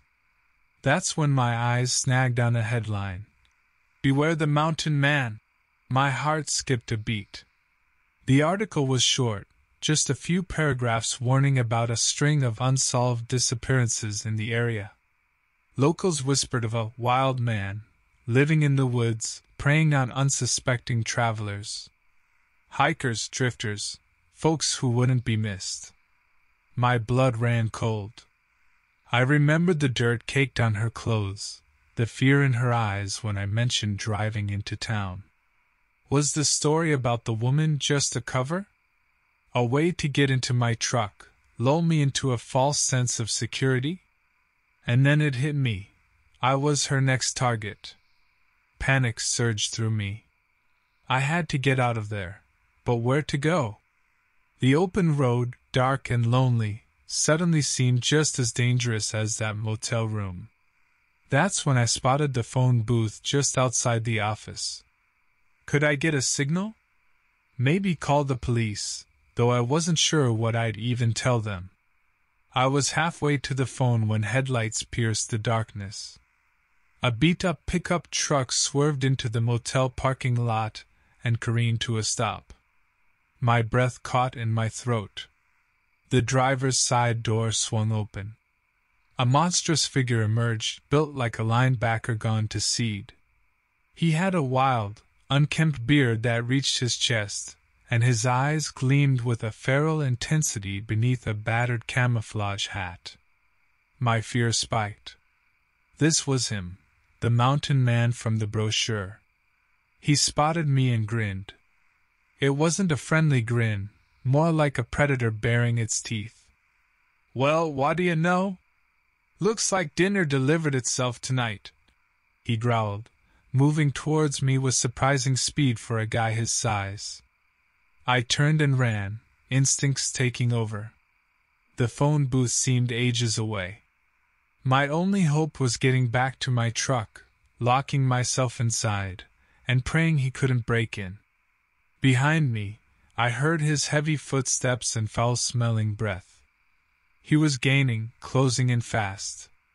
I was a few feet from the truck when my foot caught on something in the gravel, sending me sprawling to the ground. The force of the fall knocked the wind out of me. I struggled to get back up, but the pain in my ankle was searing. The mountain man was upon me.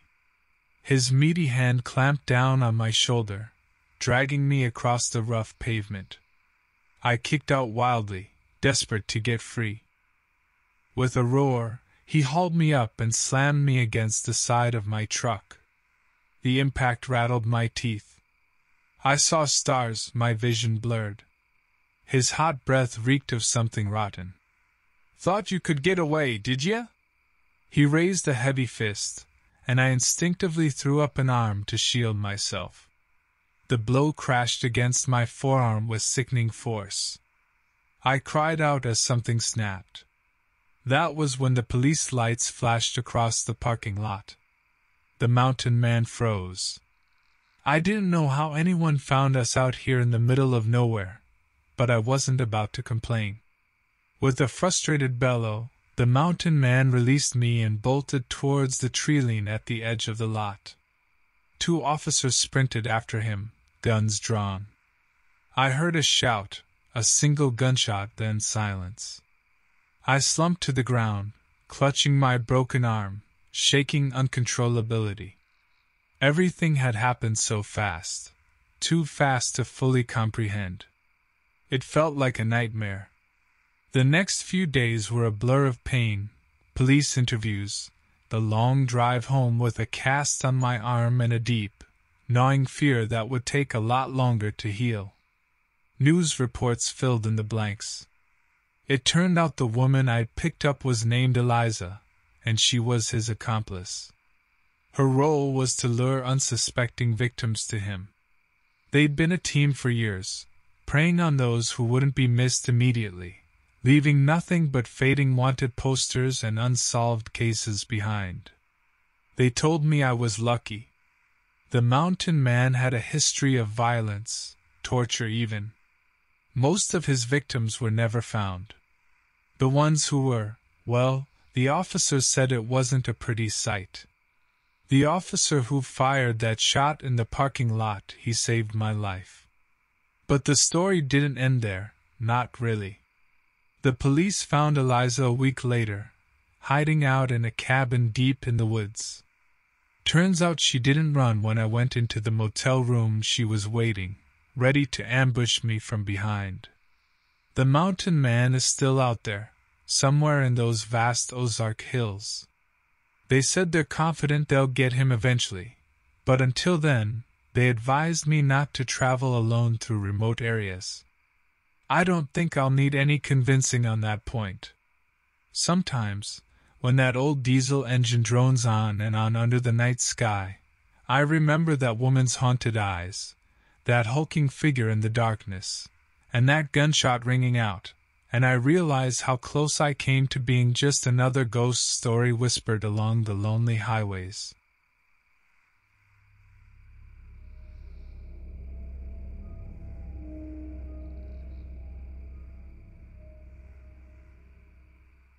My name is Wes, and this happened to me in the fall of 2006. I'd been driving trucks since I left the military long hauls mainly, a mix of loneliness and a kind of mechanical freedom that suited me just fine. I had a wife in those years, Sarah, and we were hoping to start a family. The miles ate up my nights, but the paychecks bought us a little house in the suburbs, the promise of normalcy. I told myself it was worth it. I usually ran between the Midwest and the East Coast. This time, though, my route would take me down south, a load of textiles bound for a factory near Savannah. Weather was warm for October, the air thick with the last dregs of summer. I didn't mind the heat. Better than the icy blasts of a northern winter, any day. The first night on the road, I pulled into a truck stop somewhere in Tennessee. It was one of those independent places, not part of a big chain, run down and a little grimy but with decent food. I parked my Volvo rig in the massive lot filled with the hulking shapes of semis, grabbed my bag, and headed for the diner. Inside, it was the usual mix of road weary drivers, grease stained overalls, and weary waitresses dishing out coffee refills. I grabbed a stool at the empty counter and ordered a double cheeseburger. As I waited for my food, I noticed a figure out of the corner of my eye. At first, I assumed it was just another trucker, but something in the man's stillness, the way he held himself, made me take a closer look. He wasn't young, probably in his early sixties, I guessed. He had a weathered face with deeply etched lines, a thick head of salt and pepper hair, and the kind of faded denim jacket too worn to have been bought in recent memory. Yet, his eyes were startlingly vivid, a bright, icy blue that seemed strangely out of place on his aged face. He sat hunched over a coffee, nursing the mug, but not drinking from it. And he was staring at me. Not in a threatening way, but with an intensity that made my skin crawl. I looked away, busying myself with unfolding the crumpled napkin on the counter. But I could feel those eyes boring into me, an unnerving prickling sensation on the back of my neck. I fidgeted, my burger suddenly losing its appeal. Who was this guy? Maybe just some old drifter passing through, hitching rides from truck to truck. But something about the relentless intensity of his stare was off putting. I finished my food quickly, paid the cashier, and all but ran back out to my truck. The parking lot lights cast long, distorted shadows. I scanned the lot, some primal instinct screaming at me to look for that solitary figure in the faded denim jacket and those unblinking eyes. He was nowhere to be seen. Relief flooded through me, mingled with a jolt of self mockery for being spooked by some old loner. I shrugged off the unease, climbed into my cab, and pulled out of the lot, merging into the relentless flow of the interstate. Yet, the image of his relentless stare lingered. That night, when I finally pulled over to catch a few hours of sleep, I double checked that my doors were locked, the sense of vulnerability sharp and unsettling. In the morning, the light of day washed away the previous night's jitters. I passed it off as one of those random encounters that stick in your mind for reasons you can't fully explain. But then he reappeared. About two days later, at a rest stop along I 75. I couldn't believe it at first. The feeling was like some sort of waking nightmare deja vu. There he was, leaning against a battered pickup truck in the far corner of the lot, those distinctive blue eyes watching my every move. Panic flared inside me, sharp as a fire alarm. Now, it was more than coincidence. This guy was following me. Questions hammered in my head. Why? Was he connected to the company? Some rival driver, trying to play mind games? He didn't look the part.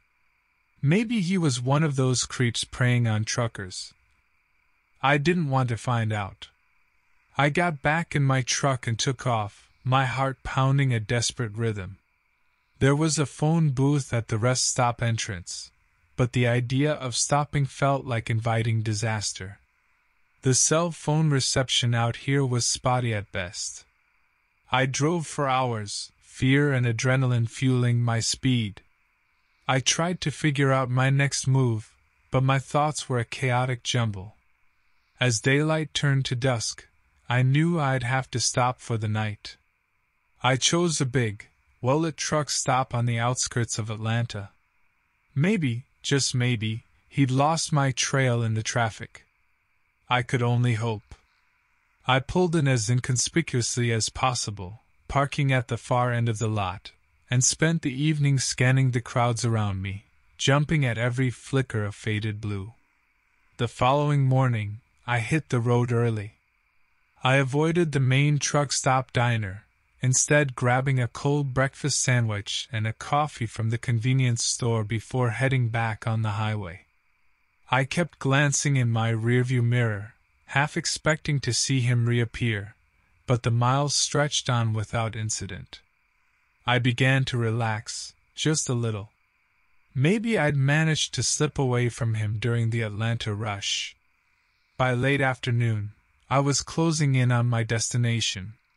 The relief washing over me was nearly overwhelming. That's when I saw him again. He was driving a nondescript gray sedan, cruising on the shoulder, seemingly waiting. The feeling wasn't relief this time, it was a sickening drop of dread. As I approached, he merged into traffic, maintaining a steady distance behind me. My exit was coming up in a few miles, and my mind raced, trying to plan some kind of escape route. Should I go off the route, try to get lost on side roads? Alert the company? The thought of calling Sarah filled me with an unexpected stab of guilt. How could I explain any of this to her without causing worry? I took my exit and he followed, mirroring my every turn. The factory and its attached warehouse loomed ahead, Panic began to override logic.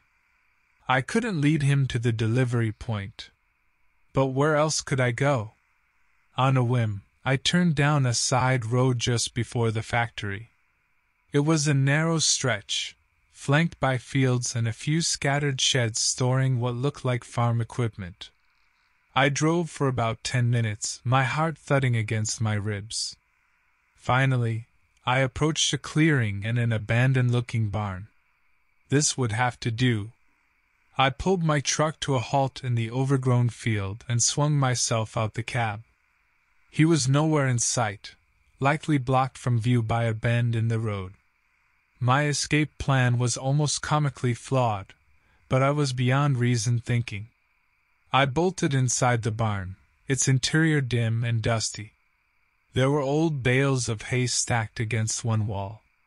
Desperation lent me a burst of frantic strength, and I started shoving them, creating a makeshift hiding spot.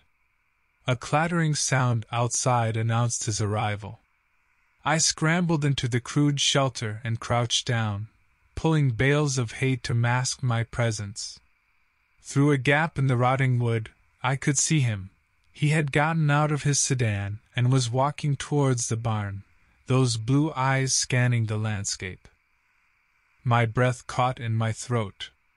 It was only a matter of time before he came inside. He pushed the barn door open, and it creaked ominously. His shadow fell across the dirt floor as he stepped inside. He didn't walk far in, but stood just inside the threshold, as if sensing a change in the air. My heart pounded so hard I was sure he could hear it. I pressed myself further into my hiding spot. A long moment stretched out, pregnant with tension. He was so close I could smell the faint scent of stale tobacco and something like machine oil. Then he spoke, his voice a low rasp, surprisingly gentle for his rough appearance. Come on out, son. We need to talk. The gentleness in his voice was more terrifying than any outright threat. It was the voice of a predator coaxing its prey. I knew right then that there was no escape. He knew I was here, and some terrifying instinct inside him took pleasure in the hunter's game he was playing. Look, I don't know who you are or what you want, I called out, my voice hoarse. I shoved a bale of hay aside, emerging from my hiding spot. He didn't flinch, just met my eyes with that same icy stare. My name is Randall, he said simply. Your name, Wesley, right? A chill ran through me. He knew my name. How? I started to ask, but he cut me off. That doesn't matter now. What matters is you made a big mistake. A mistake that might cost someone their life. His voice was chillingly calm, sending a shiver down my spine. What are you talking about? I asked, dread and anger mixing inside me. About two weeks ago, Randall continued, ignoring my question. You were up north. A town in Pennsylvania. Don't recall the name now, some little place off the highway. And you hit someone. My blood ran cold. Hit someone? There was no. I faltered, the memory slamming into me in a sickening flash. A dark stretch of back road, headlights cutting through the rain, a figure stumbling into my path. The thud, the sickening feeling that I'd hit something, or someone. Blind panic had seized me, and I'd kept driving, telling myself it had just been an animal, a deer maybe. The image of the figure crumpling against my windshield flashed, and I felt sick. He was drunk, maybe on something. Stumbled right in your path. But you didn't stop, Randall said, each word heavy with accusation. You left him there. Badly hurt, most like. Could be dead by now. I. I didn't know. I stammered, but even to my own ears it sounded weak. Didn't know, didn't care. Randall's voice was harsh now, laced with contempt. He was my brother. The barn spun around me. It was so impossible, so unreal, that my brain refused to process it.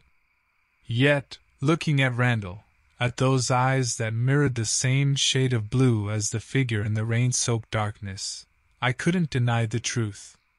The realization brought on a crushing wave of guilt and self loathing. I wanted to argue, to explain how terrified I'd been, but some essential part of me knew it wouldn't matter. A man was hurt, maybe even dead, and I was responsible. Randall had tracked me down to exact his own brutal kind of justice. What are you going to do? My voice sounded small, even to my own ears. Funny you should ask that. Randall reached into his pocket and pulled out a heavy looking revolver. He leveled it at me, his hand disturbingly steady. I've been thinking about that myself.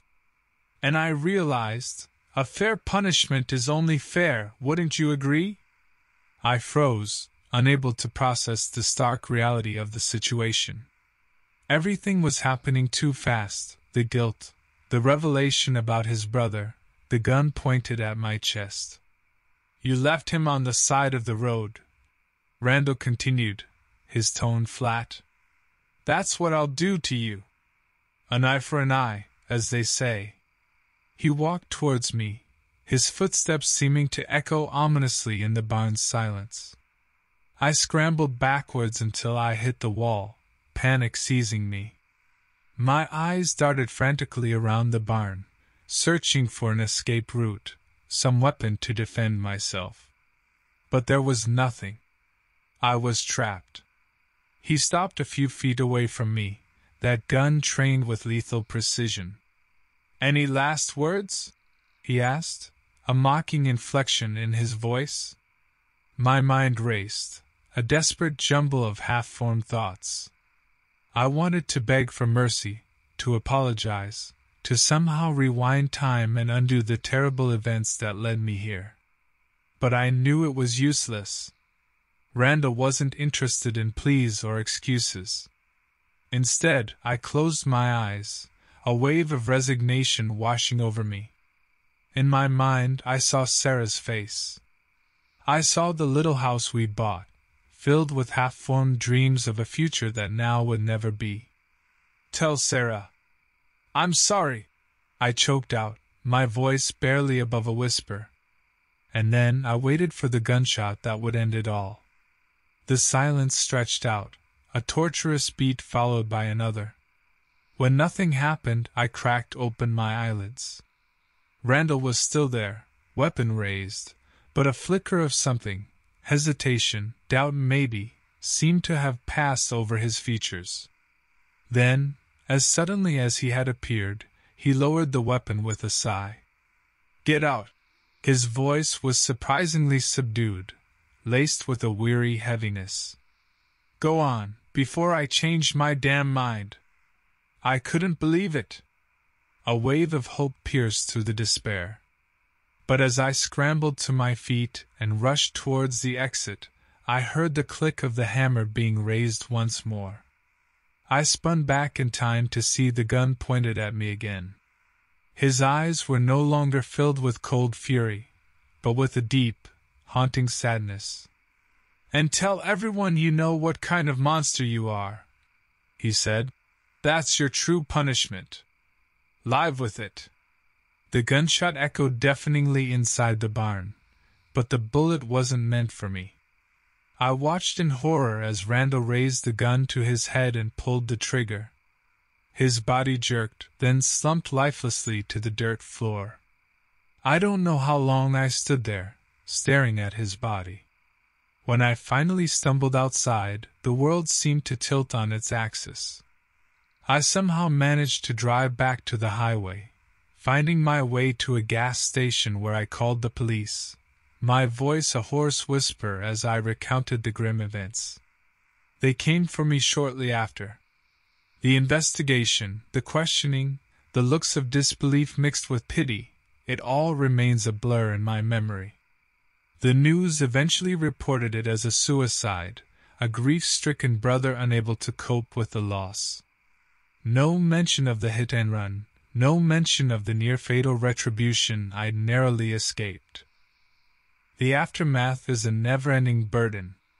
I walk through life carrying the unseen weight of two deaths the unknown figure on a Pennsylvania back road, and the man who collapsed in that desolate barn. I did turn myself in for the hit and run, received a lenient sentence with consideration taken for my extreme distress.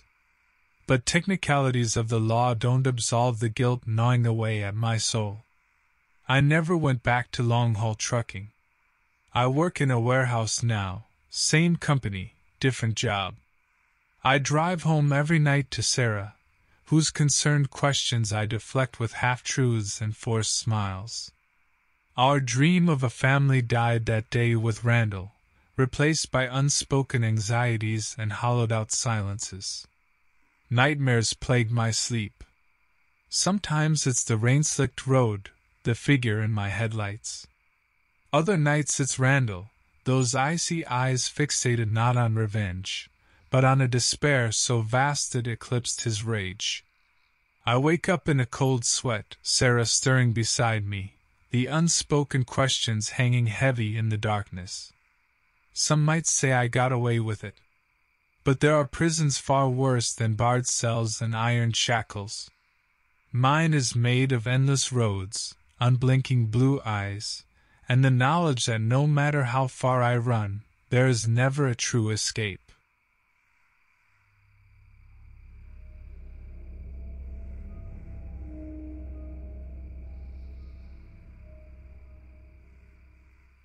I'm Terence Piper, a small town cop in Stockville, Pennsylvania. My life revolved around patrolling the quiet streets and occasional bar fights. Nothing unusual. Growing up here, I've known most of the residents my whole life. Today was different somehow. I could feel it in my gut as I walked through the sleepy town center. A call suddenly came through on the radio, a gruesome scene at an old, abandoned house on the edge of town. Without hesitation, I rushed to the location. The house was notorious for uncomfortable stories, but that never bothered me before. As a local, I heard all kinds of myths surrounding this place. Arriving at the decrepit house, I met with Officer Benson, who was first on scene. Terence, she exclaimed, you need to see this. As we approached the entrance, a distinctive smell hit us a mix of sulfur and decay. The wooden door creaked. It was cracked open by what seemed like immense force. Entering carefully and focusing on the unnerving feeling that enveloped us, my flashlight danced across the decaying wallpaper. The living room looked like something out of a nightmare. Pieces of torn flesh littered the floor alongside mangled furniture. Officer Benson's face had turned pale, but we both knew our duty. We had to investigate further. We moved towards a small room in the corner. It seemed untouched by whatever ravaged this place. Inside were stacks of newspapers and books containing clippings about mysterious local cases, missing persons, and unexplained deaths spanning decades. Suddenly, we heard something scratching outside the room, our hearts pounding against our chests as if trying to escape. Slowly opening the door, I caught sight of peculiar footprints leading down to the basement. Our best bet is to call for backup, Officer Benson suggested, her voice shaking slightly. But you know how long it will take them to get here. We need to find out what's happening. We descended into the darkness, following the eerie path of footprints. While doing so, I began mentioning some recollections about similar incidences I was involved in, making a joke about how life never really turns out as planned. The basement housed a large tank of acrid water, half submerged in muck. Emaciated bodies surfaced occasionally, only to sink back down, victims from far too many generations. Smeared against the tank was a symbol made from dried blood I didn't recognize. Suddenly, the beast emerged. It had two spindly legs that seemed to support an impossible weight, its bark like skin blending into its surroundings. The creature had no face, just a gaping hole that looked as if it had been ripped apart by something primal, and its body produced such an indescribable sound that somehow felt familiar. We both stared in shock and fought to comprehend what we were witnessing.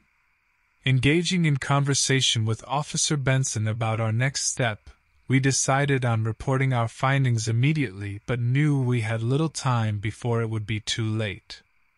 I knew I couldn't just stand there and do nothing.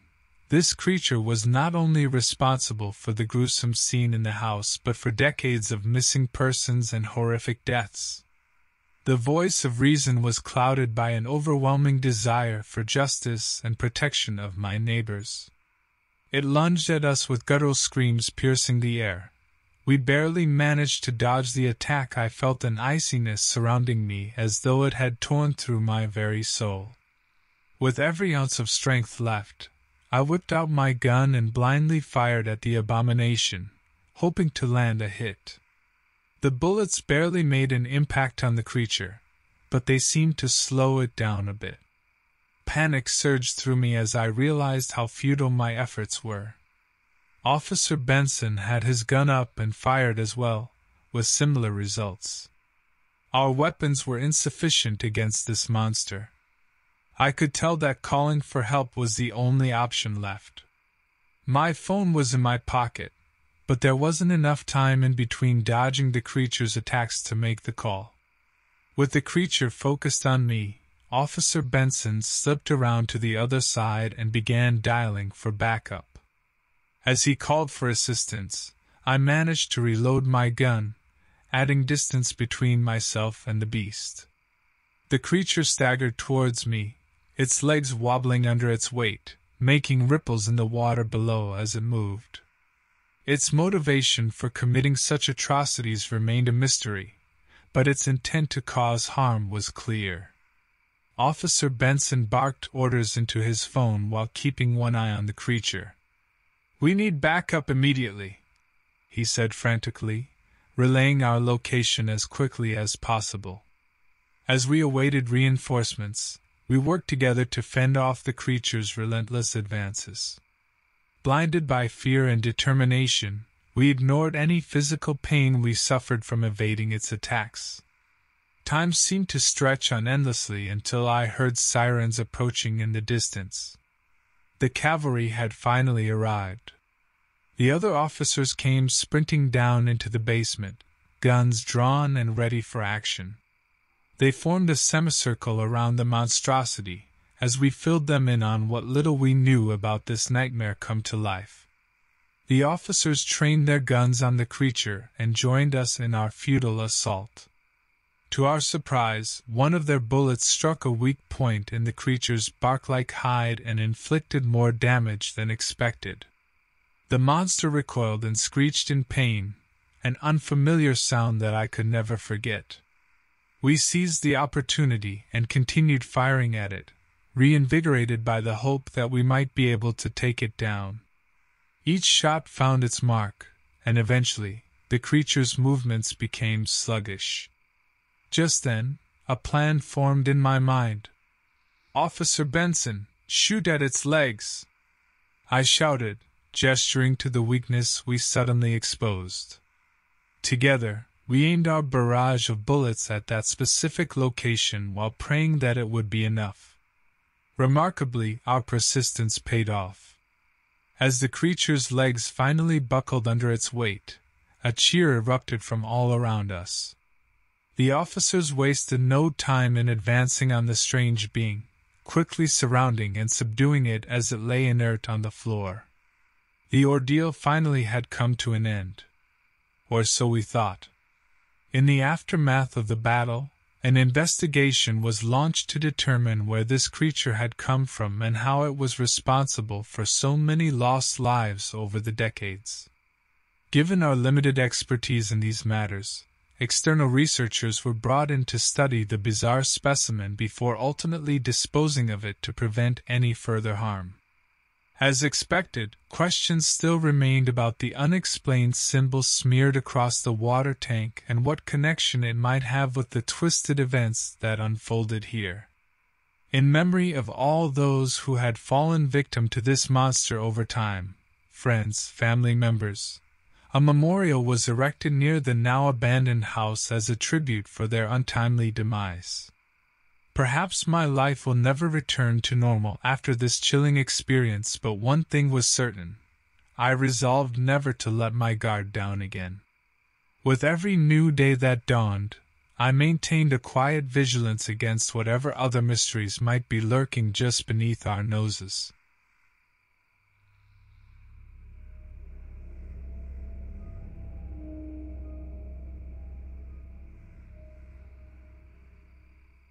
I'd always enjoyed the simplicity of my daily life as a small town cop in Huntsville, Alabama.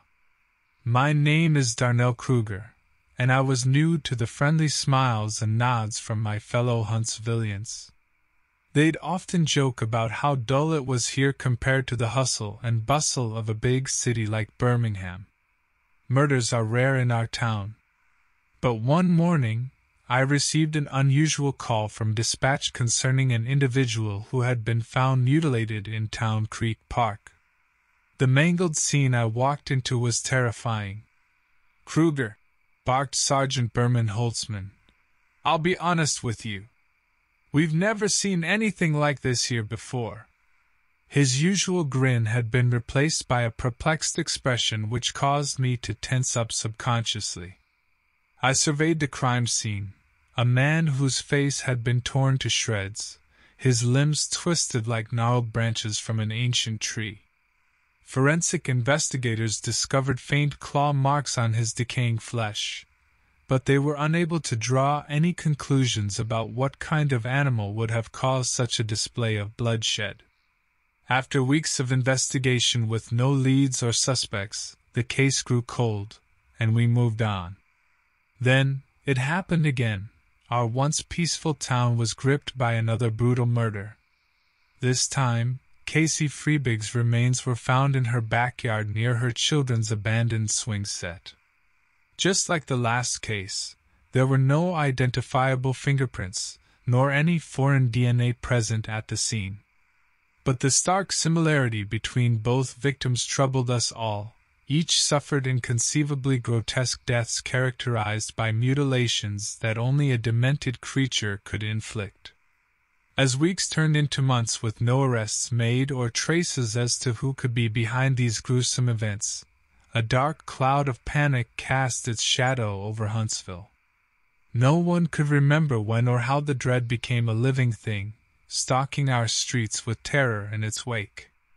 I had never been religious, but I began praying for answers. That night, when my wife Liza and I prepared to go to bed, she did her best to ease my concerns with a chuckle.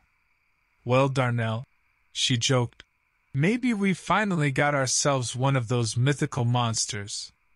She couldn't see it then, but her light-hearted remark did little to diminish the fear burgeoning deep inside me. That fear would manifest into something far more bone-chilling the next day when I responded to another distress call. This time from a sobbing old lady who claimed to have heard blood-curdling screams coming from a desolate house down the street. With the reported location firmly coiled within an intricate web of forgotten streets and twisting alleyways, we took our time finding the seemingly abandoned house.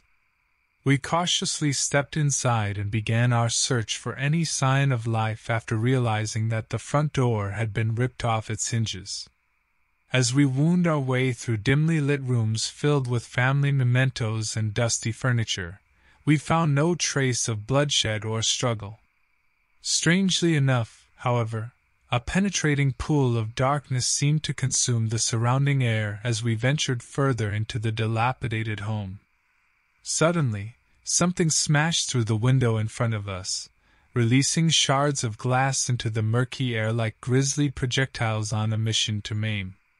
It was immediately apparent that it wasn't human, this dark figure haunting us refused to reveal its true essence wrapped beneath layers of putrid translucent flesh that appeared vaguely humanoid.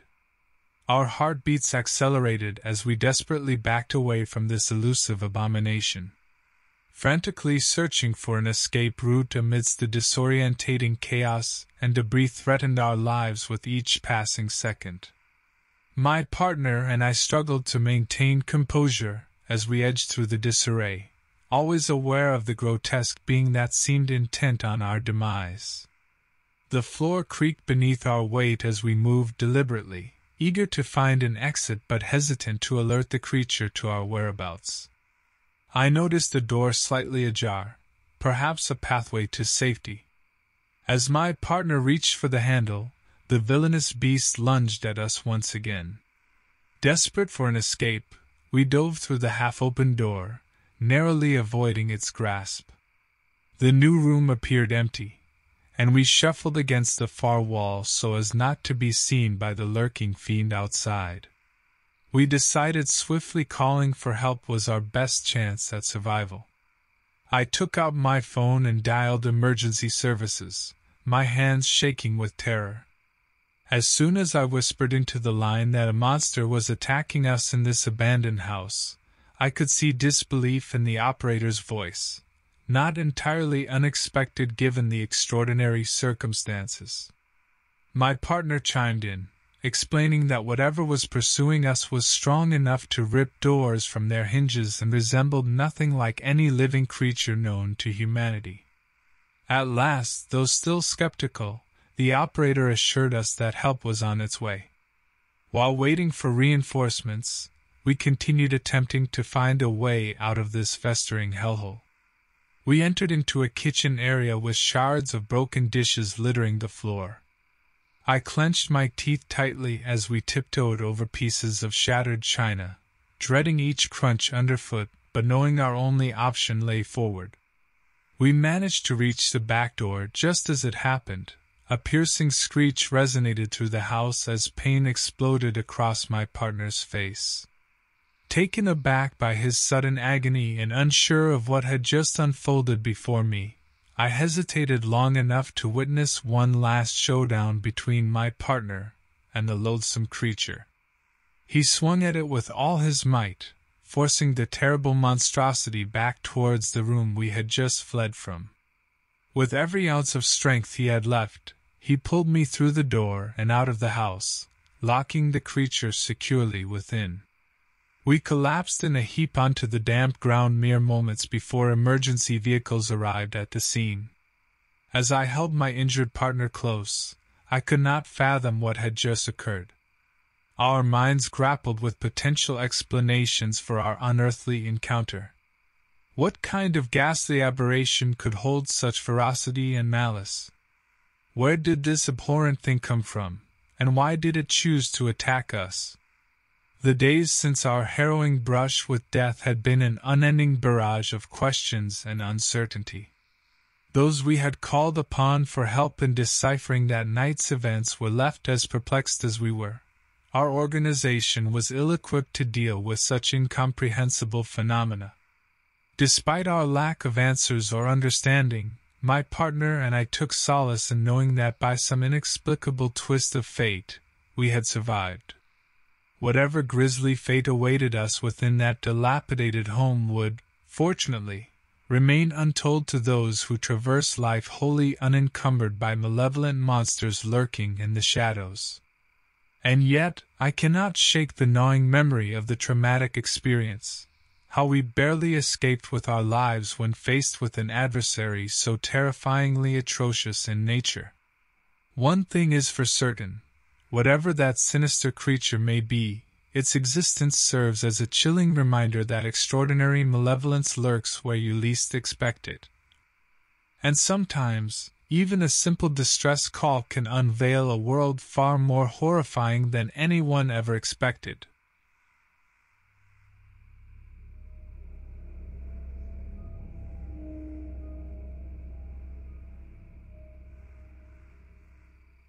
It was a regular day at the office, and by noon I felt hungry, so I decided to take a stroll to the nearby deli.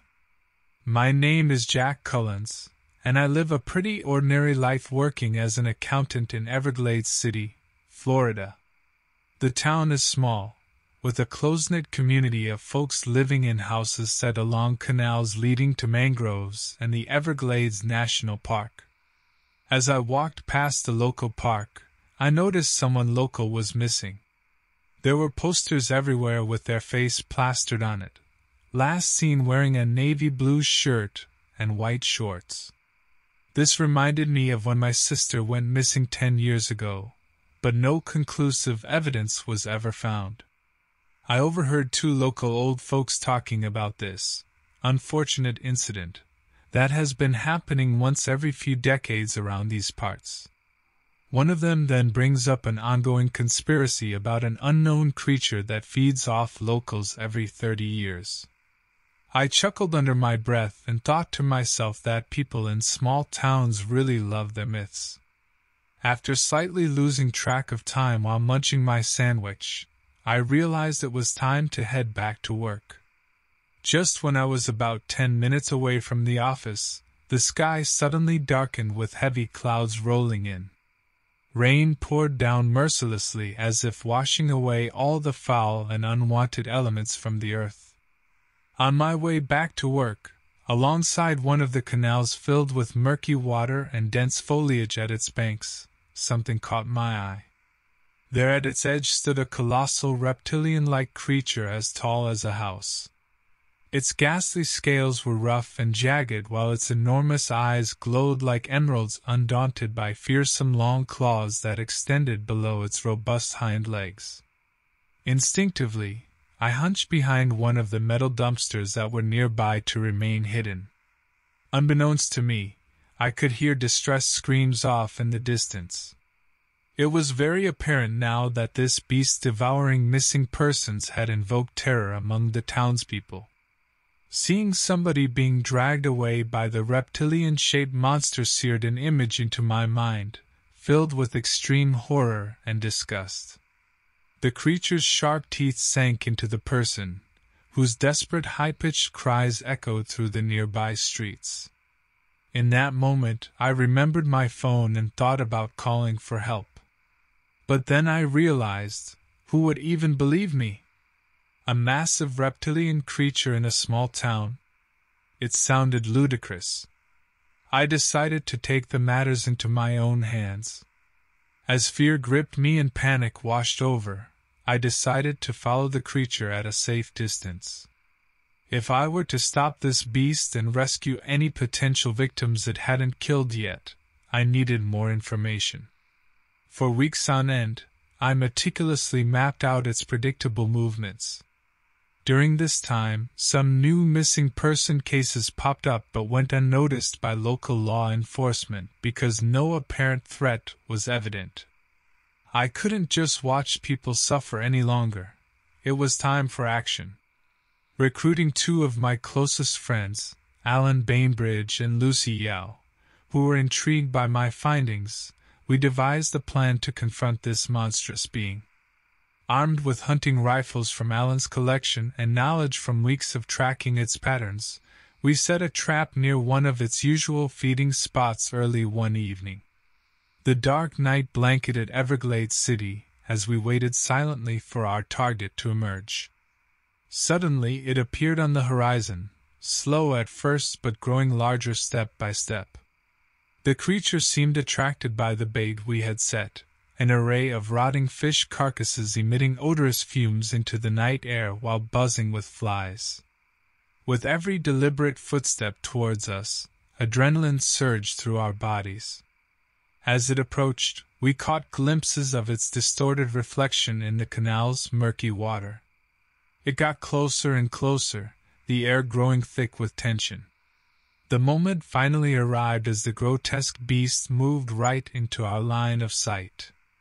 Waiting for my cue, Alan and Lucy both prepared their rifles, fingers on the triggers. My heart pounded in my ears, and sweat dripped down my face as I gulped nervously.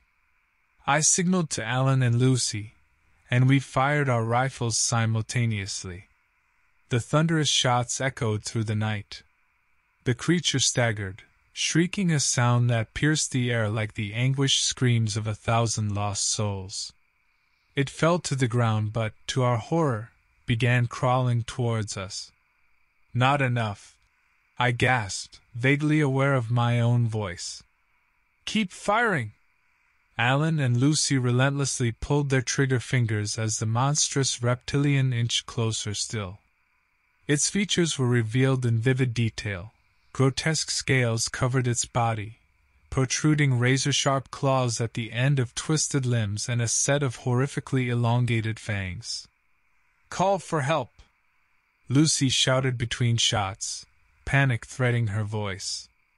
I realized she was right, even though it might be too late. Taking a quick breath, I dialed 911 on my phone but received no response. Dead signal. We were on our own. The creature continued crawling towards us with its blood curdling shrieks growing more terrifying each moment.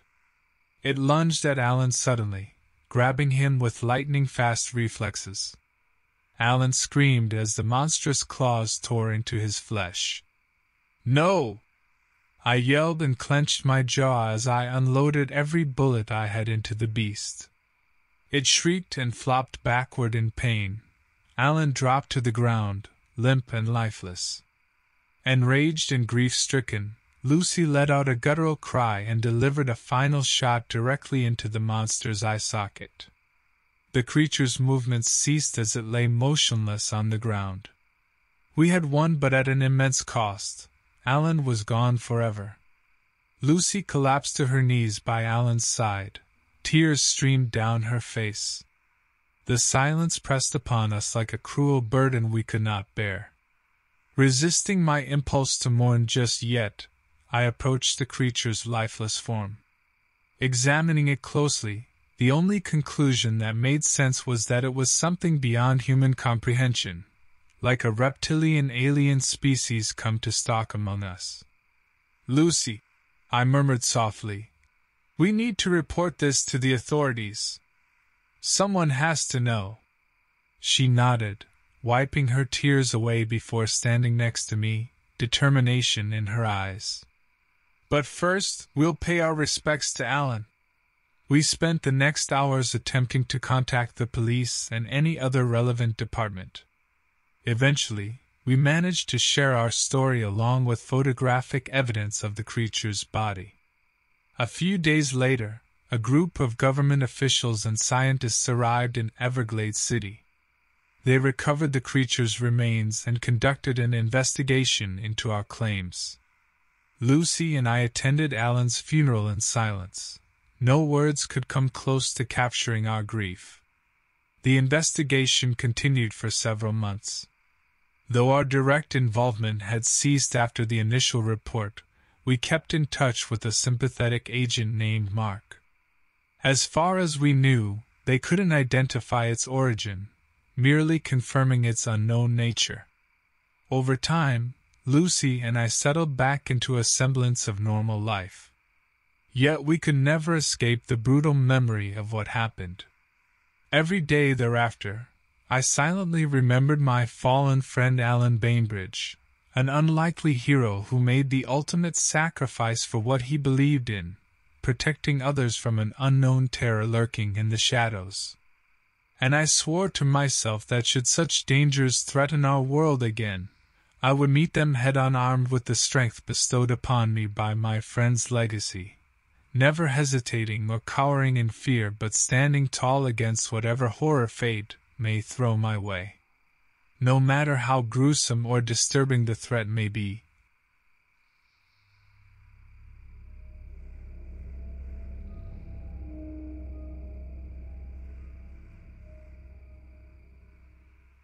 I was hiking in Yosemite National Park, hoping to clear my head after a rough divorce. My name is Gregor Winters, by the way. Hiking always helped me relax, especially since I had grown up around the beautiful landscapes of the park. How could I have known the bizarre and terrifying chain of events that awaited me? I reached a seldom traveled part of the park which few people knew about. It was in this secluded area I first stumbled upon the remains of another hiker, their body disfigured and mangled in a way no ordinary animal could have done. Bones were twisted and flesh torn apart. Shaken by my discovery, I tried to call for help. Unfortunately, I found myself out of reach, unable to get any reception. A feeling of unease enveloped me, and I decided to turn back and inform the park rangers about the mangled corpse. While retracing my steps, I noticed peculiar footprints in the mud. Though animal like, they were too large and grotesque for any beast I knew of that lived in these parts. The footprints led deeper into an ambiguous thicket of trees I didn't dare enter, but as a skeptic man myself, my curiosity gnawed at me. As night fell upon the park, I settled into my campsite, trying to shake off thoughts concerning what lurked in the forest. Sitting near the campfire with other hikers who shared stories about their adventures, I chuckled at one's joke about bear encounters. But deep down inside, dread wrestled with my need for camaraderie. One late evening, when sleep refused to ease my troubled mind, I heard noises from afar, an unsettling mix of growls and dragging sounds as if something was pulling a large object through dirt and gravel. It was then that panic surged through me like an electric shock. The next morning, two more hikers who ventured into the heart of the park were reported missing by their friends. Consequently, the park authorities organized a search party to look for them. I was invited to join and reluctantly accepted, hoping that maybe if we found them alive, I could finally put this dread to rest. As the search party ventured deeper into the park, we discovered another gruesome sight. Two more shredded bodies awaited us in a menacing manner, their wounds mirroring those I saw before. Twisted limbs and torn flesh strewn about the earth like grotesque art pieces. The search was fruitless, we found neither the hikers nor any hint of their location, though we did discover more horrifying scenes dismembered animals and those same distorted footprints, with each mile of our journey. We set up camp for the night under a veil of despair. Around the fire, a fellow searcher named Karina Jensen shared her story about witnessing strange occurrences in her backyard leading up to our recent discoveries. Her description sent shivers down everyone's spine even as the glow from the flames warmed our hands against the cold wind.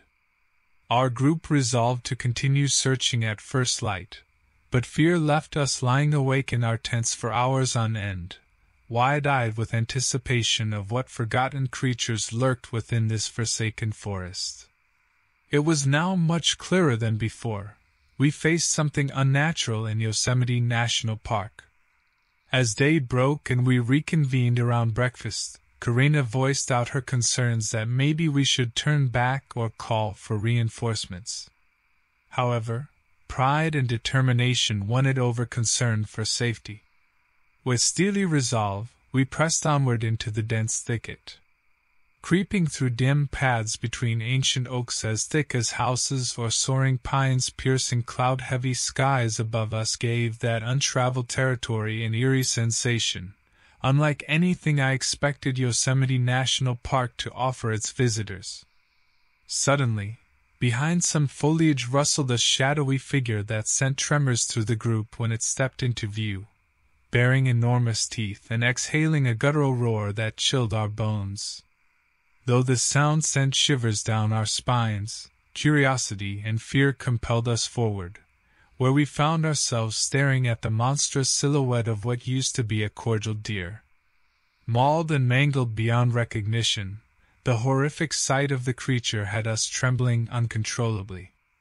We instinctively retreated, moving away from the monstrous deer as it limped closer.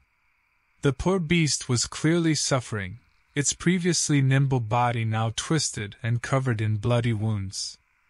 I realized we couldn't fight this creature on our own, and decided the best course of action was to call for help. Guys, I whispered as we tried to maintain a safe distance. I'll call for help. We can't deal with this on our own. My friends nodded in agreement, terrified by what we were witnessing. I pulled out my phone and dialed emergency services. As I explained our situation, they promised to send a team out to our location as soon as possible. While waiting for help to arrive, the creature continued to close in on us. Fear gripped us tight, but we kept retreating, wary of provoking further aggression from the mangled deer. Karina anxiously stared at it, wondering how such a gentle animal had turned into this horrifying creature. Finally, we heard the distant sound of approaching vehicles, which seemed to agitate the disfigured deer even more. Its guttural groans grew louder and more frequent as it sensed its imminent capture. Backup arrived quickly, with park rangers and other searchers joining forces with us to face the monstrous beast. They brought tranquilizer guns to subdue it safely to prevent any further harm or damage. What on earth happened here? one of the park rangers asked me when he saw the gruesome state of the mutilated creature. We don't know, I replied as my voice trembled slightly. It was like this when we found it. As they cautiously approached the creature, it made one last desperate lunge towards one of the rangers before succumbing to multiple tranquilizer darts shot from well prepared professionals. It dropped onto the forest floor with a heavy thud that resonated deeply with all of us who witnessed the scene. The park rangers tagged and secured the creature, preparing it for transport away from our group. They seemed as baffled as we were, unable to comprehend the reason behind this bizarre transformation of a once gentle woodland creature into a nightmarish monster. When everything was finally over, and the distorted deer was out of sight, I tried to piece together what could have caused such a change. I inquired from one of the rangers about any known legends or possible explanations for this terrifying occurrence, but he shook his head in disbelief. I've never seen or heard of anything like this before, he said solemnly. And believe me, we see our fair share of strange occurrences in these forests. It wasn't until days later that I stumbled upon an obscure article about a local myth called the Shape Changer. The story spoke about a malevolent entity capable of transforming seemingly innocuous animals into fearsome and sinister versions of themselves to stalk and terrorize innocent victims. As unsettling as it was, it seemed to fit our chilling experience. However, no one wanted to accept a folk tale as the explanation for what we had encountered. That deformed and mangled deer would forever remain a horrifying puzzle that loomed over all who had come face to face with it in Yosemite National Park. In the end, we all decided to leave the forest as soon as we could. We continued to search for answers and spread awareness about our encounter with that grotesque creature. No one knew whether other animals in the forest might suffer the same transformation or if it was merely an isolated incident. But one thing was certain none of us would ever forget that harrowing day when Yosemite showed us its darkest secret.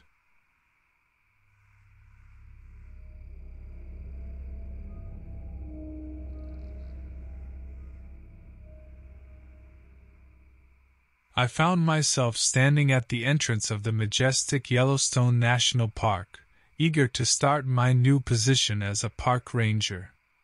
My name is Harris Krieger, and I recently moved here from the bustling city to seek solace in nature. I never imagined that my new life would bring me face to face with unimaginable terror. The park was lush and serene, teeming with wildlife and picturesque landscapes. I relished in the tranquility of it all, far removed from the chaos back in the city. Shortly after beginning my tenure, I became close friends with fellow Rangers Veronica Heppelwhite and Oliver Fitzhugh. As seasoned Rangers, they often shared their experiences and offered advice when needed. One day, we received reports about a group of campers who had mysteriously disappeared from their campsite. The entire area seemed undisturbed, as if they vanished into thin air. We assumed it was likely a prank, or they simply wandered off, so we organized a team to search nearby areas. As luck would have it, Oliver stumbled upon an unsettling scene as we traversed a remote trail dense with foliage. What remained of the missing campers laid before us, mauled and dismembered corpses strewn about like rag dolls. Our mouths dropped open in horror as we attempted to process the gory sight. The realization that something sinister was lurking in these woods anchored itself firmly in our minds. The ground rumbled softly before louder pounding shook nearby trees at intervals, like an approaching behemoth making steady strides towards us. We dared not speak as fear gripped our hearts and compelled us to ready our firearms for whatever nightmare lay ahead. Soon after, we caught glimpses of a monstrous creature through tangled branches. It resembled no known species found within park limits, or perhaps anywhere else on Earth. Standing upright at an imposing height with limbs powerful enough to render human flesh to ribbons, it stalked its territory with a predator's grace. The terrifying realization sunk in. We were now prey to an indescribable abomination. Our initial reaction was to call for help, but the dense forest made it impossible to maintain a steady signal. We knew we couldn't rely on backup, so we had to survive using our wit and instincts. With loaded guns in hand, we tiptoed deeper into the woods, away from our butchered fellow campers. As the shadows grew denser and day turned to night, the sound of snapping twigs echoed through the forest. An acute sense of dread hung over us as we noticed that the creature had picked up our scent. Hoping that we could outsmart and outrun it, Oliver suggested splitting up and rendezvousing at a designated point later on. The relentless pursuit continued as I stumbled upon a grisly scene of mutilated park animals. Nature's forewarning that something unholy was trespassing within its sanctuary. My pulse raced as the grotesque creations that littered my path seemed to foretell an unceremonious end for me as well. I inched closer towards my destination, hands shaking while clutching my rifle, hoping that this unspeakable ordeal would soon be over. But fate had other plans. Heavy footsteps and guttural growls resonated all around me as the massive, malformed beast closed in on my position. Ignoring logic and self preservation, I sprinted towards a steep ravine with mare nerves forcing my legs to comply with desperate abandonment. The creature mirrored my movement with malevolent intent etched into its grotesque visage. My heart pounded in my chest like a balled up fist hammering against a creaky wooden door. Dark clouds converged overhead as rain began pouring down like shards of glass slicing through the air, as if nature itself recoiled at the unholy abomination that stalked me without mercy or remorse. Just when I thought my demise was imminent, Veronica and Oliver burst through the trees like the heroes in our childhood stories. They brandished their rifles and aimed defiantly at the creature as it cornered me against the sheer cliff face. Sweat dripped down my forehead as I whispered a silent prayer for divine intervention or an unsolicited miracle. I looked at Veronica and Oliver in disbelief, grateful for their timely intervention. Without hesitation, Veronica yelled, Run! We'll hold it off! I didn't have time to argue or question their decision, so I turned and sprinted towards the ravine. Behind me, I heard gunshots piercing the air while the creature roared in defiance. The sounds of claws scratching the ground and trees being pulled apart mingled with my friends' shouts and gunfire.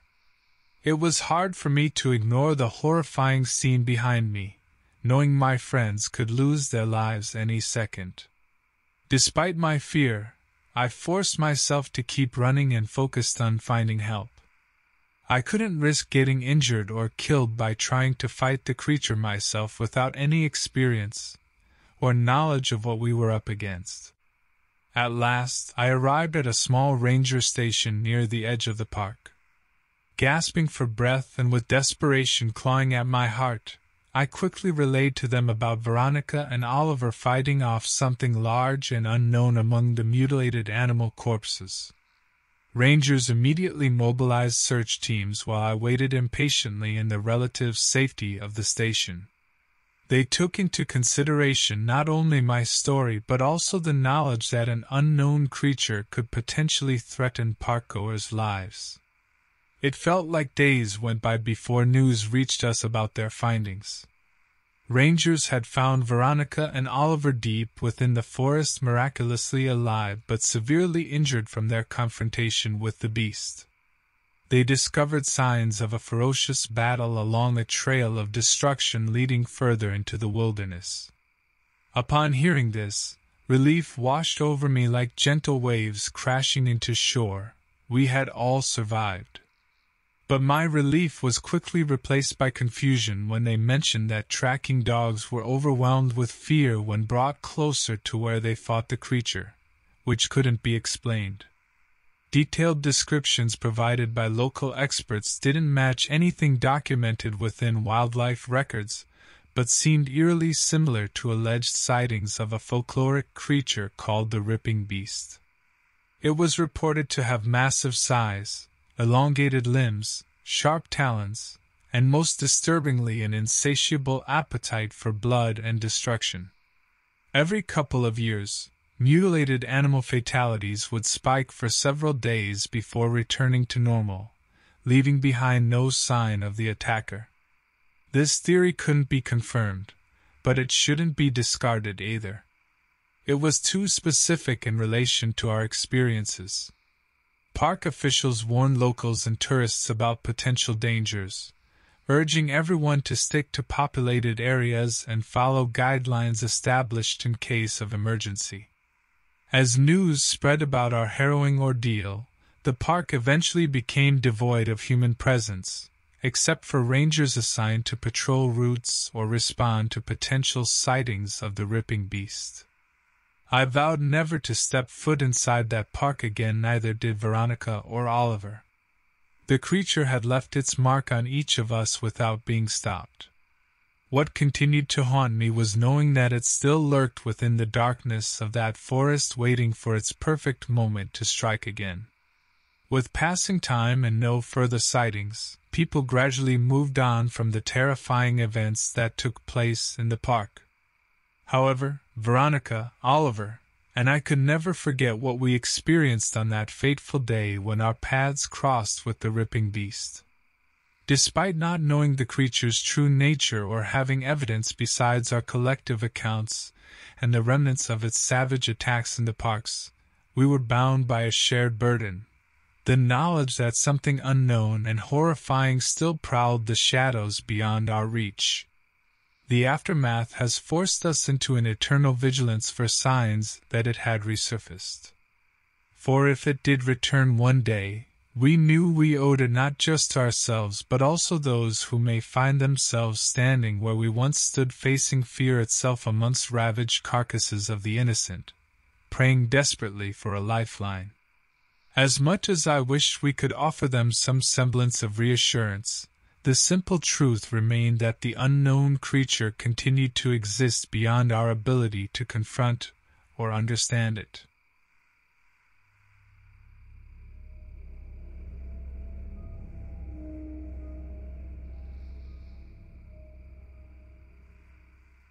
It all started with a lousy signal. There I was, deep into the heart of Keystone National Forest in Pennsylvania, trying to put out a call in the off chance someone would hear me. It's not that I needed help, yet, but these woods have a way of making you long for human contact. My name's Devin Holloway, an experienced hunter who prefers solo hunting trips as the best form of meditation and escape from a monotonous 9 to 5 job as an insurance agent. Of course, my wife Susan wasn't thrilled every time I left for another trip, but it was my only true passion that drove me forward. The air grew colder as shadows lengthened between trees. Mild unease crept up my spine as I recalled the locals whispering about unexplained disappearances in these woods. On any other day, I would have laughed it off but walking alone through this vast forest had me questioning the logic behind those tales. Suddenly, a blood curdling scream cut through the silence. My body tensed. Adrenaline surged through my veins as I instinctively reached for my rifle. No bird or beast could make such a sound. It belonged to a human in pain and terror. I followed the echo of the scream and stumbled upon something beyond belief mangled remains of a fellow hunter strewn across the forest floor, limbs twisted into unnatural shapes, blood pooled around what was left of his lifeless body. An eerie silence engulfed me once more. No birds sang nor wind rustled leaves in surrounding trees.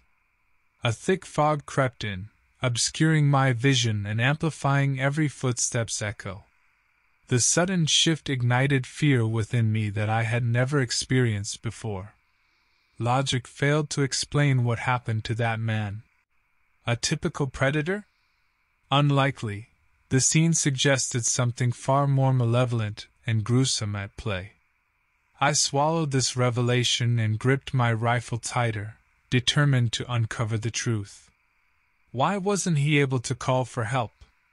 Venturing further into the fog, I noticed an odd trail of blood and crushed foliage leading deeper into the woods. The thickening fog shrouded my vision as I followed the signs left behind by whatever mysterious creature lurked before me. I kept hearing unfamiliar sounds, terrifying growls and snarls only growing closer. Then, out from the shadows, a horrific figure emerged stood taller than a man on hind legs with razor sharp claws protruding from its hairy paws. It was no bear I had ever encountered on all my hunting trips in Pennsylvania. The creature raised its sinister gaze to meet mine. Amber eyes glinted, reflecting a malice only nature at its darkest could produce. Its mouth opened wide, revealing rotting rows of dagger like teeth drenched in blood. A low fiendish growl escaped its throat. As its massive paws pounded against the ground in pursuit, primal instincts kicked in. Fight or flight consumed me as this monster closed in with each fearful stride. Rifle in hand, I aimed to shoot, but my trembling fingers caused the bullet to miss my target. Realizing my shot missed, panic set in as I turned to flee. The creature's malevolent growl became louder, and I could feel the massive weight of its paws slamming against the earth from just a few feet away. My mind raced through scenarios me being hunted, torn apart, or worse. My rifle was useless now. I had thrown it to the side and sprinted through the trees, branches whipping at my face as I gasped for air. Adrenaline pushed me beyond anything I'd ever experienced before. For a brief moment, I thought of calling for help, but my fear paralyzed any hope of using my voice. Everything happened so fast. Suddenly, Jackson came into view my hunting partner who had gotten separated earlier in the fog. He was armed with his shotgun and listened intently as I quickly described the creature chasing me. Jackson's eyes widened with fear, and he nodded at me to keep running while he braced himself against a tree for support. Go! he shouted as he took aim into the fog behind me.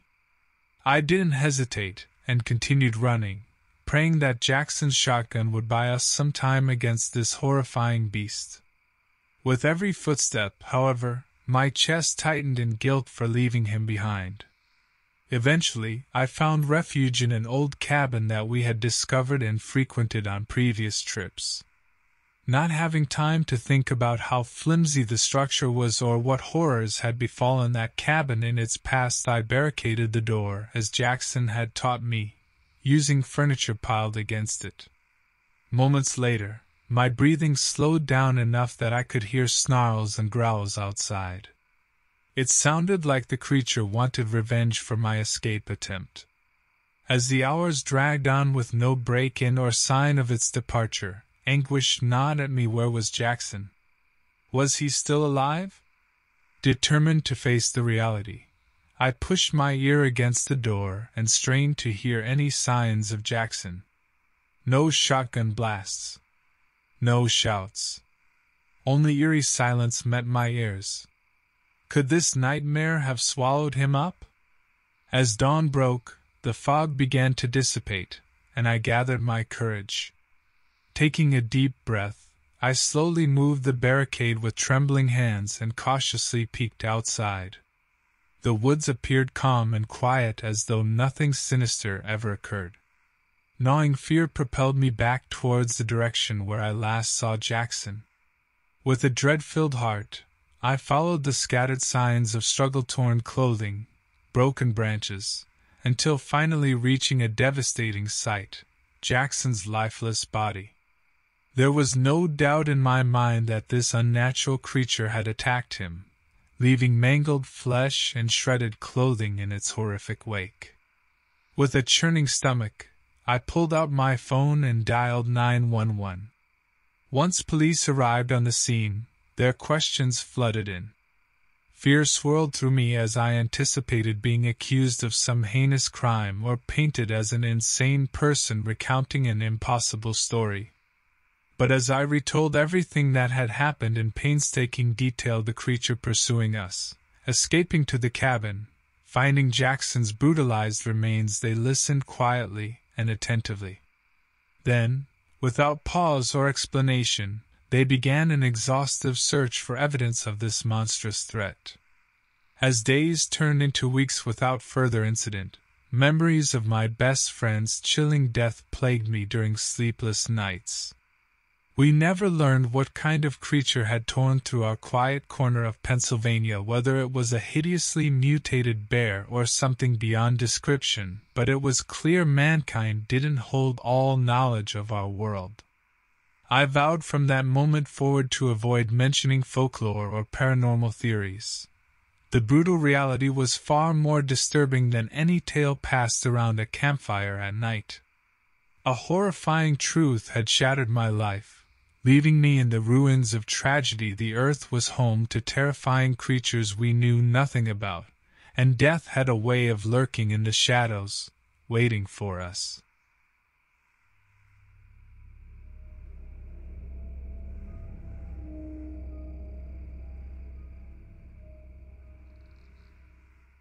In the dense, shadowy forest of Akeley Woods, Vermont, I had gotten used to the muffled sounds of wildlife and rustling leaves as I stalked my quarry. My name is Jerry Hutchinson, and I'd been hunting for years. It was a family tradition passed down from my grandfather. The camaraderie among us hunters was something that brought me comfort and a sense of belonging. The riddle of several missing persons in our small town had made me uneasy lately, and today I could feel their weight upon me, despite the warm sun filtering through the trees above me. My good friend Pete Langstrom, whom I often hunted with, had disappeared just like that three weeks ago. No one understood what was happening, but we could never have foreseen what awaited us in these woods.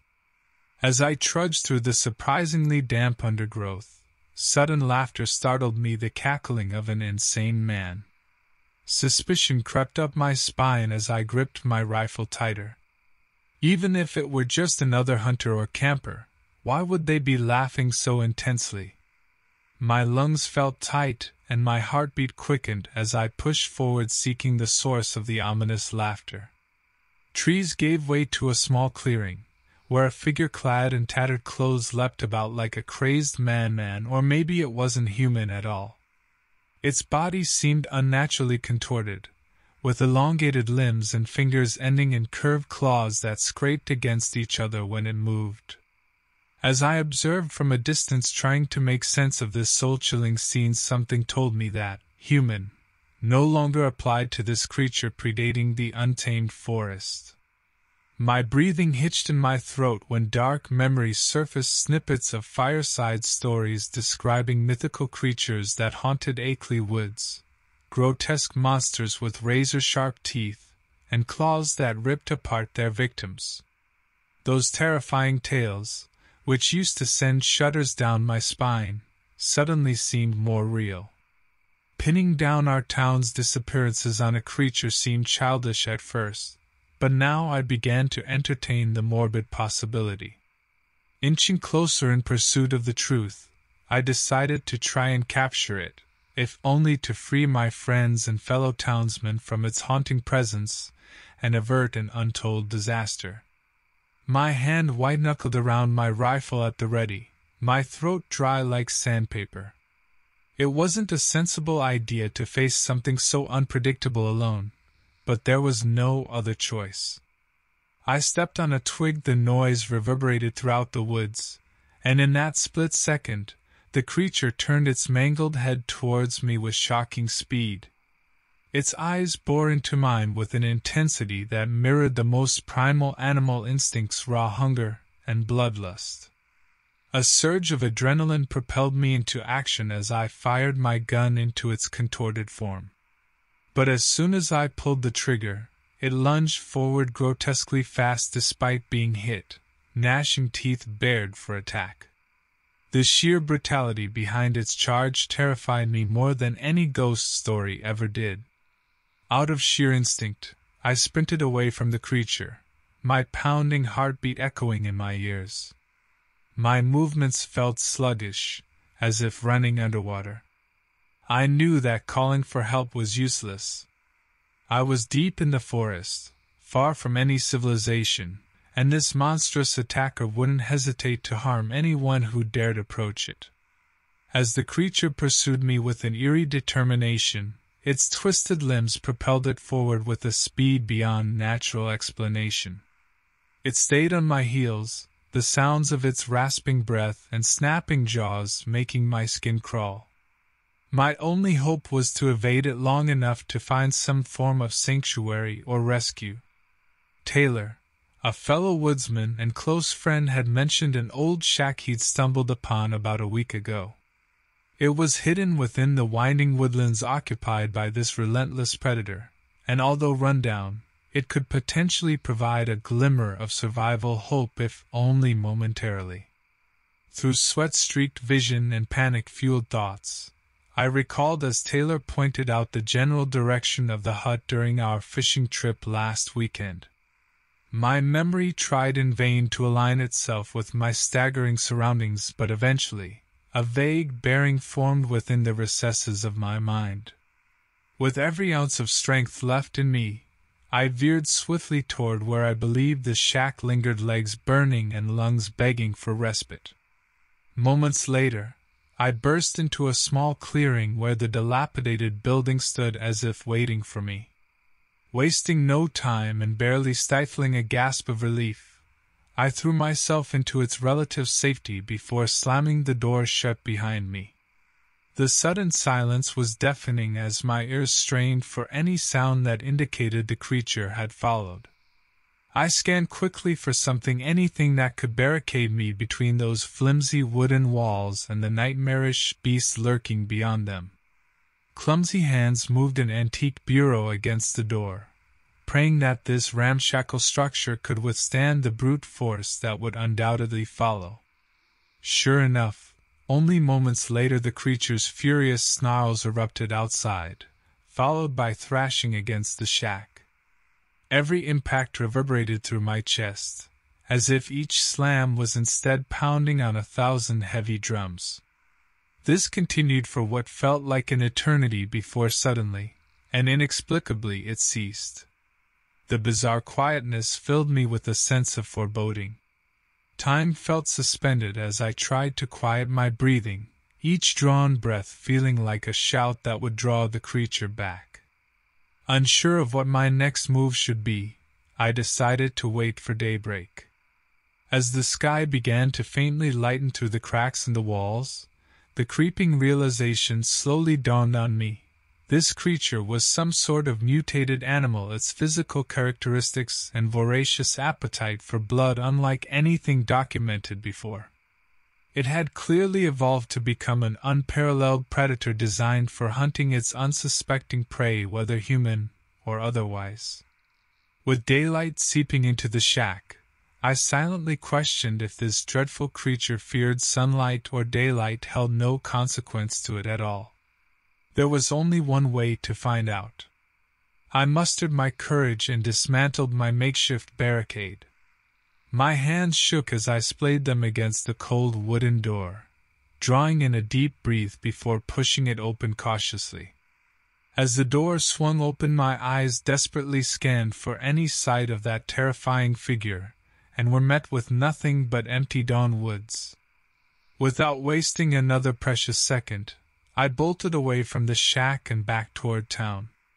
A newfound determination fueled each desperate stride closer to safety.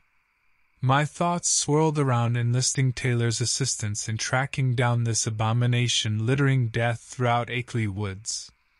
As I arrived at his doorstep bruised and traumatized physically and mentally, Taylor barely recognized me, but he listened attentively. He agreed without hesitation that we needed to work together in order to put an end to the menace stalking our beautiful town. The creature had no idea it was now the hunted.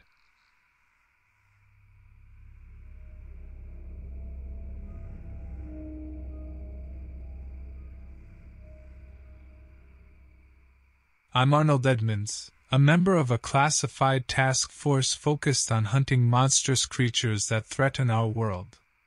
I'm currently stationed in the dense woods of the Pacific Northwest, known for its towering trees and seemingly never ending wilderness. This place is not for the faint of heart, especially with our current mission.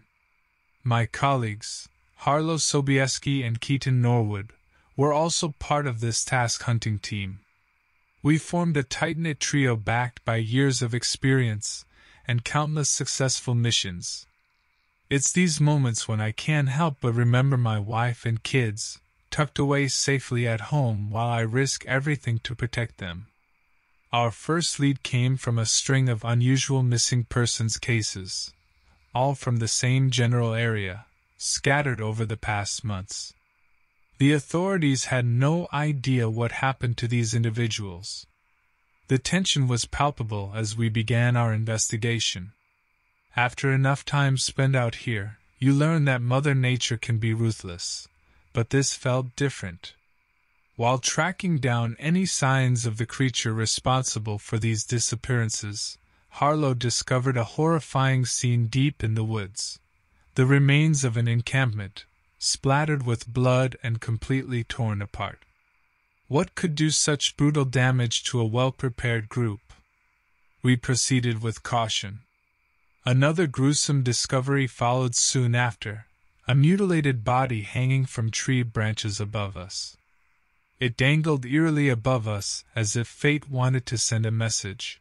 It would seem that getting ourselves noticed was not such a challenge for this creature after all. It became apparent during our discussions about the facts and findings.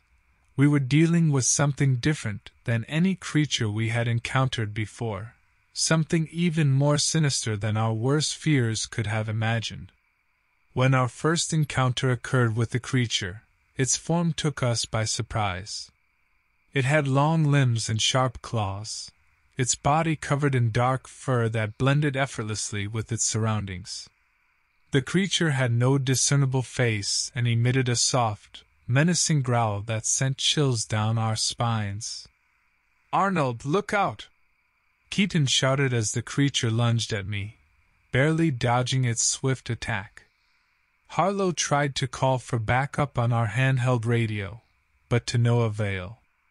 The signal's dead out here, we're on our own, she said with resignation. It was clear that this time we were isolated and without support. However, our training hadn't been for nothing. We relied on extensive practice and teamwork to confront this nightmare. We managed to set traps in the forest to slow down the beast, tripping it up by using tripwires and snares, earning us some crucial distance. Keaton kept a nervous tone in his voice as we continued our journey. Did either of you guys ever imagine something like this would happen when you signed up for the task force? I never thought I'd face something this terrifying, Harlow replied solemnly. But we've made it this far by staying together. We won't let it get to us. We have to stop this monster before it takes more lives, I added fiercely. Everything up to that point was nothing compared to what ensued next. As dusk approached and darkness enveloped the forest land, an unnerving silence pervaded the thick atmosphere around us. Suddenly, the creature ambushed us from behind, mauling Keaton before he had any chance to react, taking away not only one of our finest members but also a cherished friend. Our pain turned into fury when Harlow picked up Keaton's weapon and fired at the beast. The creature howled, retreating deep into the shadows of the woods. But it didn't feel defeated nor done with us. With heavy hearts, we continued our escape in silence, determined to avenge Keaton. Harlow led the way, using her expert navigation skills to guide us through the thick undergrowth and treacherous terrain. We need to get back to headquarters and report this, I suggested. We have no weapons left, and we don't know when that thing could ambush us again. Agreed, Harlow replied. We've lost our communication devices. We'll need to find a nearby town with a phone. While forging ahead trying to reach civilization as quickly as possible, we formulated a plan to secure help against the creature. However, our desperate plight made it clear that the situation was beyond our expertise. Just as we crossed into a more accessible area where we hoped to find help, the beast surged glaringly from behind. Caught unaware by its startling appearance, it attacked Harlow, digging its claws into her leg with an unyielding grip. I lunged at it without thinking, fueled by pure adrenaline, trying desperately to fend off the attacker. Struggling my hardest to fight back, I managed to weaken its hold on Harlow, and she limped away from immediate danger. Swiftly retreating, we found a secluded shed where Harlow could treat her injured leg. Helping her inside, I set out creating a primitive barricade for protection from the lurking menace. Harlow winced in pain as she hastily applied first aid supplies at her disposal. The makeshift tourniquet slowed the seemingly unstoppable bleeding from her wounds. Dragged along by necessity broken down, and exhausted, we pushed ourselves forward until finally reaching a small roadside diner. The owner was well aware of strange phenomena in this part of the woods, but never experienced anything firsthand, only heard second-hand tales of bizarre occurrences. Steeling his resolve while pondering our dire predicament, he decided to help us contact our superiors. Listening intently to our harrowing account of recent events, he allowed us the use of his landline. Despite getting a still functioning connection, no one answered at headquarters. We could only leave a detailed message on their voicemail. Fearing for our lives and desperate for assistance, we pleaded with the operator to take it upon herself to notify someone higher in the chain of command, no matter how outlandish our story might seem. Our time was running short. The diner owner agreed to drive us a safe distance from the creature's territory, giving us some breathing room while we waited for backup. In those perilous hours leading up to our evacuation, we recounted everything we knew about the creature. Nothing in our collective experience allowed us to ascertain its true nature or origin, only vague conjectures derived from zoological hypotheses and theories. Its powerful build and fast movement resemble some form of animal, Harlow noted somberly as she nursed her leg but the intelligence and cunning displayed during its ambushes set it apart from any known species. Eventually, after what felt like an eternity, a rescue team arrived to transport us back to headquarters.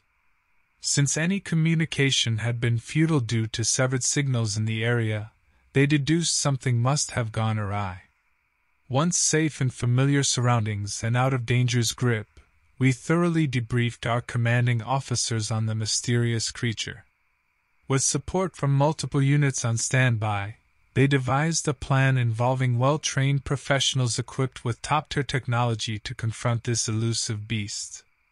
The memory of Keaton loomed heavily throughout that operation, driving us towards neutralizing this inhuman monster once and for all.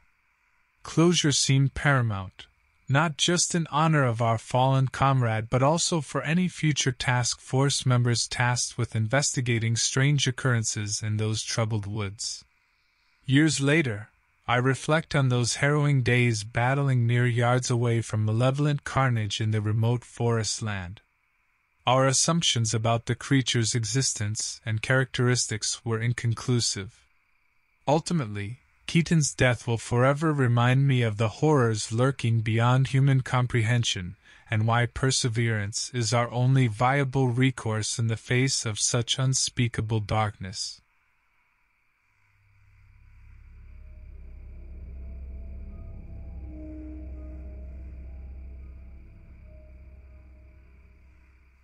I'm Greg Huxley, standing near the entrance of Aokigahara Forest in Japan a dense woodland notorious for its eerie atmosphere and unsettling history.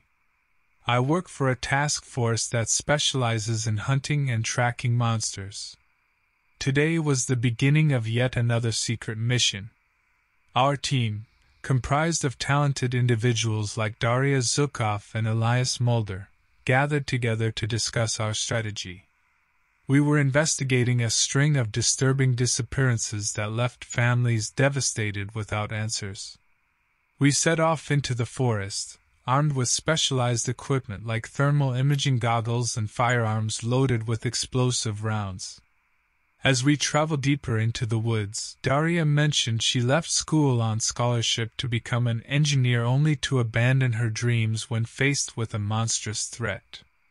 The forest grew darker, and our senses heightened as we moved cautiously through the tangled undergrowth.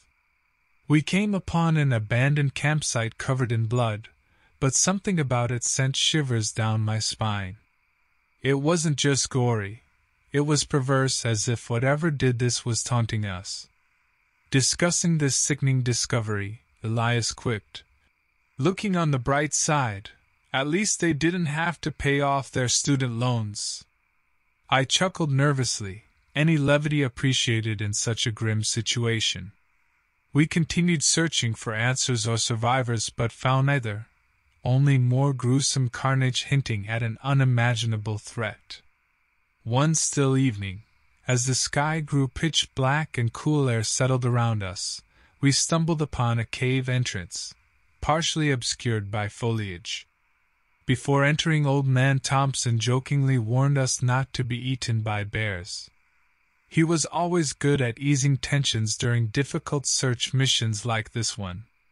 As we pushed deeper into the cave with nothing but our rugged determination guiding us forward, suddenly there was a piercing yelp from Old Man Thompson. Lurching around against the darkness, basking upon what little light we all could glean together.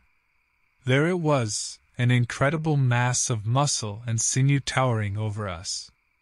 Its eyes glowed yellow with an almost primal intensity, as its massive claws dripped with dark blood. The creature before us resembled a bear, but its twisted anatomy hinted at something far more sinister. It moved lightning fast for something so large, pinning Thompson against the wall with one huge paw.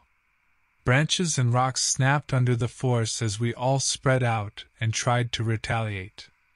Try to flank it! Elias shouted while firing a barrage of shots at the creature, but it hardly seemed fazed by our weapons. Daria attempted to contact headquarters through our radio, but her frantic calls for help were met only with a deafening silence that echoed throughout the cave in reply. As the creature raised its other paw to strike, I couldn't help but think about my son at home waiting up for me while I raced into danger day after day. The demon's attack missed my chest by mere inches as I rolled out from under its deadly reach. The cave's cold air enveloped us, and I felt a mixture of fear and determination. We had a responsibility to protect the lost civilians who wandered into this cave, but we were also faced with a terrifying force beyond our comprehension. While I was distracted, a crushing weight hit me from behind. The air left my lungs as I was thrown against the wall, narrowly avoiding the twisted bear like creature's incoming blow. Get out! Get out of the cave now! Old Man Thompson screamed as he struggled under the massive paw pinning him against the wall. It was hard to leave the old man alone in that dark, treacherous place as we scrambled back toward the cave's entrance. But there was no way we could fight that thing without more firepower or without knowing what it truly was. We needed to call for help. Elias went outside to ensure a clearer connection with headquarters while Daria and I paused at the cave entrance, listening for any sign of Thompson or the beast. Through ragged breaths, Elias managed to get in touch with our team outside and describe our situation, begging them for backup. As we waited for their arrival, time seemed to slow down. Every second felt like an eternity, with our minds racing about what was happening inside that cave. My chest tightened when I heard screams echoing from the depths of the cavern below. Their pain was palpable, and it only heightened our sense of urgency and panic. Finally, a heavily armed rescue team arrived, led by Commander Stevens. Upon hearing about our encounter with the creature, Commander Stevens immediately ordered us to remain behind while his team ventured deeper into the cave system. Though we wanted to go back in and help Thompson, we knew that retreat was our best option at this point. Anything else would likely lead to more deaths and injuries. So we hunkered down near the entrance of the cave, which seemed like an entirely different world now, and prayed for Thompson's safe return. Hours crawled by as we kept vigil in the chilly night air. No sounds could be heard from within except for the occasional distant echo reminiscent of a terrible battle. I thought about Old Man Thompson when we first found that cave, how he tried to ease our nervousness with jokes. Now my heart clenched with dread, wondering whether those would be his last laughs. Without warning, a bloodied figure stumbled out of the darkness. It was Thompson, injured but alive. He collapsed at the entrance of the cave, his breath ragged and strained. Daria quickly tended to his wounds as Commander Stevens and his team emerged from the shadows. Debriefing ensued as we regrouped in the safety of our base camp. Commander Stevens explained that they had found several mutilated remains, presumably belonging to recently lost civilians. They also discovered the remains of what appeared to be an unknown species of mutated bear deep within the cave system, killed by their relentless gunfire. The base's scientists studied photographs taken by the team during their mission and determined that although there was no definitive answer about its origin, the creature shared some characteristics with known bear species but had mutated grotesquely. Though speculations swirled about radiation exposure or secret science experiments gone wrong, we knew that answers were still far off in the distance. The search mission ended with a bittersweet victory. We had successfully located and killed an unknown menace, but in exchange for countless innocent lives lost and a haunting sense of uncertainty about whether more creatures like it lurked in hidden corners of our world. In time, we returned to our duties, rescuing lost civilians and exploring mysteries. But old man Thompson's injury forced him into retirement. I visited him frequently back in town, reminiscing about memories shared during our countless missions together over mugs of hot coffee, each steaming brew warming our hands against the chilling thought of that page in our lives. We never managed to uncover the creature's true origin or whether its kind truly ceased to exist. But we remained forever vigilant, with a sense of urgency to stay alert and alive in a world where unimaginable nightmares could emerge from the darkest corners at any moment.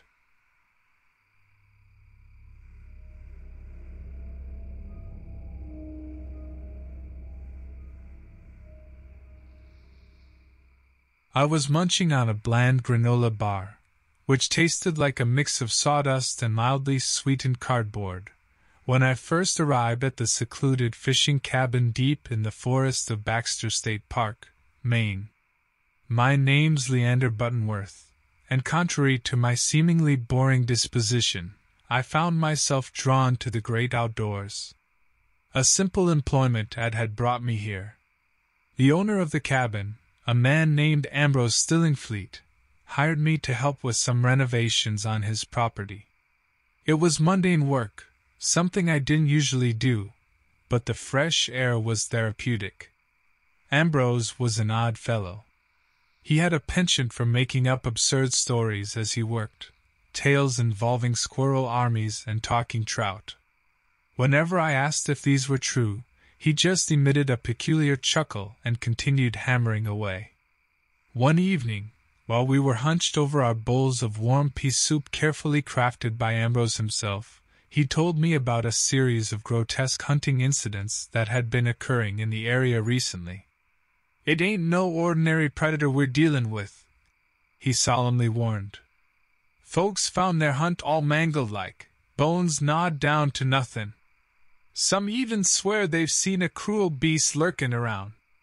The mere thought of this unseen creature sent shivers down my spine. But being skeptic in nature, I brushed away these nervous thoughts and asked for another spoonful of soup. The following morning commenced like any other day at the cabin, assembling planks and measuring angles. But something felt off. I noticed that even Ambrose looked more tense than usual as he went about his work muttering to himself worriedly every now and then. We were refurbishing one side of the cabin when Ambrose grabbed my shoulder and whispered anxiously, Do you see that there in the distance? Round that bend over yonder? Squinting, I spotted a colossal shadow emerging from the forest. The faint outlines of elongated limbs and a deer like skull with sharp antlers loomed into view. I could almost taste the noxious stench of decay emanating from its frame. The slow realization that resembled swallowing lead pierced me. It was the creature Ambrose had been talking about. My mind screamed to call for help or scramble up the nearest tree, but no signal and paralyzed legs were hardly helpful. I locked eyes with Ambrose, who had gripped onto his old hunting rifle, knuckles white from the pressure. We exchanged nods as he whispered under his breath, We have no other choice. Creeping cautiously towards the creature, we couldn't fathom what it could be capable of. Yet, despite this utterly terrifying situation, we saw humor in our torturous predicament. Why did the predator chase its prey? Ambrose whispered so lowly that I nearly missed it. With a nervous grin, I shrugged and whispered back. No idea! Just for the thrill of the chase, he replied. Our laughter felt foreign but eased some tension in that moment as we fully accepted our dire circumstances. Shrouded in resolute determination, we moved through the trees, feeling distinctly insignificant against nature's magnificence, yet undeterred in our quest to confront this vicious monster. We continued our cautious approach, trying to come up with a plan. The creature, still unaware of our presence, was focused on whatever it was doing, perhaps searching for prey. It seemed like our only chance to slip past unnoticed. I looked around and saw a cluster of large rocks nearby. If we could somehow make it there without attracting attention, we might be able to use them as cover and make our escape. But first, we needed a distraction. Grabbing a fallen branch from the ground, I snapped it in two and handed one half to Ambrose. We flung the pieces of wood in the opposite direction of where we planned to head. As soon as the branches landed in the underbrush, the creature's head snapped towards the noise it had made. Mustering every ounce of courage in both our bodies, Ambrose and I darted towards the rocks as quietly as possible. We had made it halfway when we heard a guttural growl behind us. The creature had spotted us. Our hearts pounded wildly as we picked up speed, adrenaline coursing through our veins. No signal meant no help. Only fear and determination fueled us now. Ambrose grunted as his aged body struggled to keep up. The creature was gaining on us, its elongated limbs moving with surprising speed considering its size. An unearthly screech filled the air as its sharp antlers swiped ferociously. In that instant, something caught my foot, and I tumbled onto the forest floor. A large, gnarled root entangled me mercilessly. Ambrose turned around desperately at my cry and aimed his hunting rifle at the creature for an impossible shot. Run! I yelled at him, but he was too stubborn. This was his hunting ground, after all. Ambrose fired a bullet into the creature's skull like face with trembling hands. It recoiled violently but didn't go down. He fired another shot, no luck. The creature continued its charge, angrier and more determined than before. My fingers fumbled on the root, trying to untangle myself. I had to do this. I had to survive. Ambrose, still defiant, continued firing at the monstrous being while shouting at me to get up. The creature bellowed an ear splitting cry as it collided with Ambrose, throwing him against a tree. Its antlers pierced his abdomen as he struggled weakly against its terrifying strength. A sudden surge of adrenaline coursed through me once more. I managed to break free from the root, just as the creature threw Ambrose aside like a broken toy. He let out a pained groan, badly injured, but still alive. Summoning my last ounce of energy, I limped towards the rock cluster, almost there. The creature reared up on its hind legs, about to deliver a crushing blow on both of us. But just then, a deafening crash echoed through the forest. An enormous tree had fallen unexpectedly onto the beast's back. With the creature crushed under the weight of the tree and incapacitated for the moment, I seized my chance to pull Ambrose towards the rocks. We made it there and tried to catch our breaths as best we could. Neither of us dared speak. It was as if this nightmarish reality knew not even whispers were tolerated. We huddled against one another behind our makeshift cover in defiance of despair and with little hope. As light finally broke over the horizon, fading away that seemingly never ending night of terror, we looked towards where we left the creature trapped beneath a tremendous fallen tree trunk. Only silence lingered now, no alien screeches or guttural growls marked its presence beneath those ancient timbers. A feeling of receding chaos hovered in that morning air while we tended silently to Ambrose's terrible injuries. We didn't know if the creature was alive or dead, and neither did we have any clue what it was or what drove it to attack us. What was clear was that life had taught us yet again to expect the unexpected. Though broken and battered, Ambrose and I survived. Nature's indiscriminate magnificence had shrouded our darkest encounter in a veil of quiet beauty. I thought back on that whispered joke we shared earlier, the thrill of the chase, and smirked with disbelief as I glanced at Ambrose, our eyes silently acknowledging a bleak moment of humor in our terrifying night.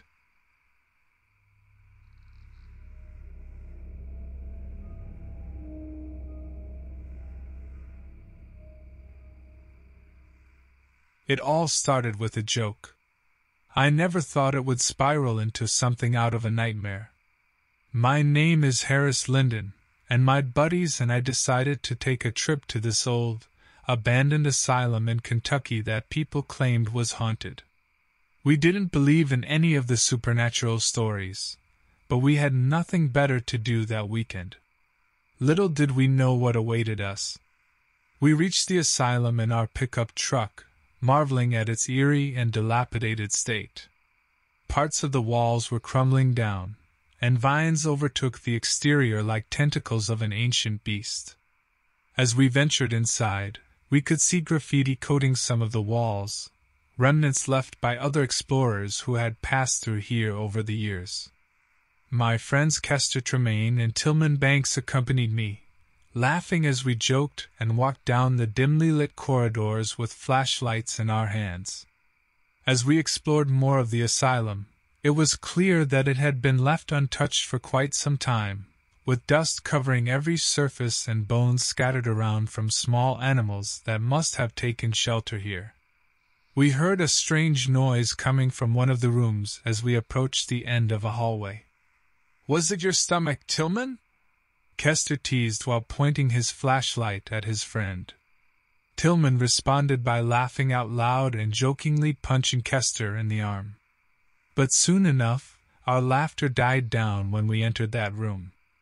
The walls seemed damp like they were crying dark tears so slowly sinking into a pool on the floor. Amidst this decay stood an inexplicable sight. Wooden beams formed an odd structure that vaguely resembled an animal or creature. This thing had a tall, lanky frame with elongated limbs, which remained unnervingly still. As we looked closer at this recomposed figure, Kester remarked that its head appeared like a deer or stag skull with sharp antlers protruding from the top. Not expecting to see something so bizarre, we inspected the structure further. Suddenly, the skull's eyes glowed, and this uncanny beast came to life. It released a guttural, otherworldly sound and moved its limbs with alarming speed and agility. Stunned, we found ourselves unable to move as our flashlights danced in its glare. Dropping our flashlights out of sheer fear, we stumbled backward as this creature leaped forward, making it crystal clear that it wasn't here for pleasantries. Guys, run! I managed to yell, breaking free from my shock bolting through the hallway as fast as our legs could carry us. The agonizing screeches reverberated in our ears. The walls seemed to close in on us while the relentless creature chased into unexplored corners of the asylum. At some point, we decided to split up, hoping that one of us would find a way out and call for help. Heading down yet another forsaken corridor illuminated solely by my dying flashlight beam, I hear Tillman bellowing in pain. His scream echoes through the halls like a haunting reminder of our impending doom. Anxiety swells within me, my racing heart ready to burst from my chest. I sprint with reckless abandon and stumble upon an area filled with old medical equipment. I find a bottle of industrial alcohol and pocket it. Who knows when that might come in handy? Stagnant hospital air fills my lungs, but there's no time to suffocate on it. I must keep moving. The creature stalked us relentlessly, not seeming to tire. We had split up, hoping that one of us might elude this uncanny beast, and find a way to call for help. Its deer like skull with sharp antlers gleamed in the darkness as its elongated limbs propelled it after me. I tried my best to recall if anywhere in the asylum there was a phone or radio we could use to contact the outside world, but my mind was blank. I heard another scream echoing through the abandoned asylum. This time it was Sarah, her voice filled with pain and horror. It made me feel helpless that I couldn't do anything for her. We had been so foolish coming here without telling anyone where we were going. No one knew where to find us. Running through the dark corridors, I spotted a staircase leading down to what looked like a basement level. Desperation urged me on as I hurried down the steps, praying that there would be some way out or something, anything that might be of help. At the bottom of the stairs was a large storage room filled with dusty boxes and old items. My flashlight flickered and went out, plunging me into near darkness. Groping around, I found an old set of walkie talkies inside one of the boxes and turned them on. They crackled with static before one burst into life with Tillman's panicked voice. Hey! Are you guys still alive? I managed to evade that thing for a while, but it's only a matter of time before it finds me again. I found walkie talkies, I responded, my urgent tones seeping through. We need to call for help somehow. Do any of you see any way out? I haven't yet, Tillman replied breathlessly. But I'll keep looking. We have to hurry. Sarah chimed in with strained determination so evident in her trembling voice. We can't let it find us again. Suddenly, I remembered the bottle of industrial alcohol in my pocket and had an idea. If we couldn't escape, at least we could confront the creature with something to fight back. Listen, guys, I said into the walkie talkie. I have a bottle of industrial alcohol. If we can somehow set it on fire, maybe we can hurt that monster or buy us some precious time to escape. Sounds like our only plan so far. Tillman agreed over the crackling static. Let's all meet up in the main hall. We'll have more space to move around there and hopefully a better chance against this thing. As we congregated in the dimly lit main hall, our nerves frayed to their breaking point, I lit a rag stuffed into the industrial alcohol bottle with an old lighter I found in one of the dusty boxes. Suddenly, the guttural growl of the creature ripped through the atmosphere from a distance. It was closing in on us. Get ready, I whispered over the sounds of our rapid heartbeats and heavy breathing. It burst onto the scene moments later, its grotesque form illuminated by our dying flashlights. It charged at us, but as it reached closer, I hurled our makeshift firebomb at the creature with all my strength. The flaming bottle connected squarely with its awful skull, setting it ablaze amid screams and screeches that filled our ears. Despite being on fire, it continued its relentless pursuit, though it now clearly stumbled in confusion and pain. Using this opportunity to our advantage, we scrambled out from a smashed window near a side exit that led out of this forsaken place. As soon as all three of us were safely outside, struggling for breath and tasting freedom from death's grip, Sarah dialed emergency services on her cell phone, finally realizing she hadn't lost it after all. The police and paramedics arrived and tended to our injuries. They conducted a search of the asylum but found no trace of the otherworldly entity. However, the traumatic events we had experienced still lingered. They were undeniable for us. We were alive, but our hearts bore the memories of this gruesome encounter with this eerie, mysterious creature. We could only hope that by some miracle we had seen the last of it.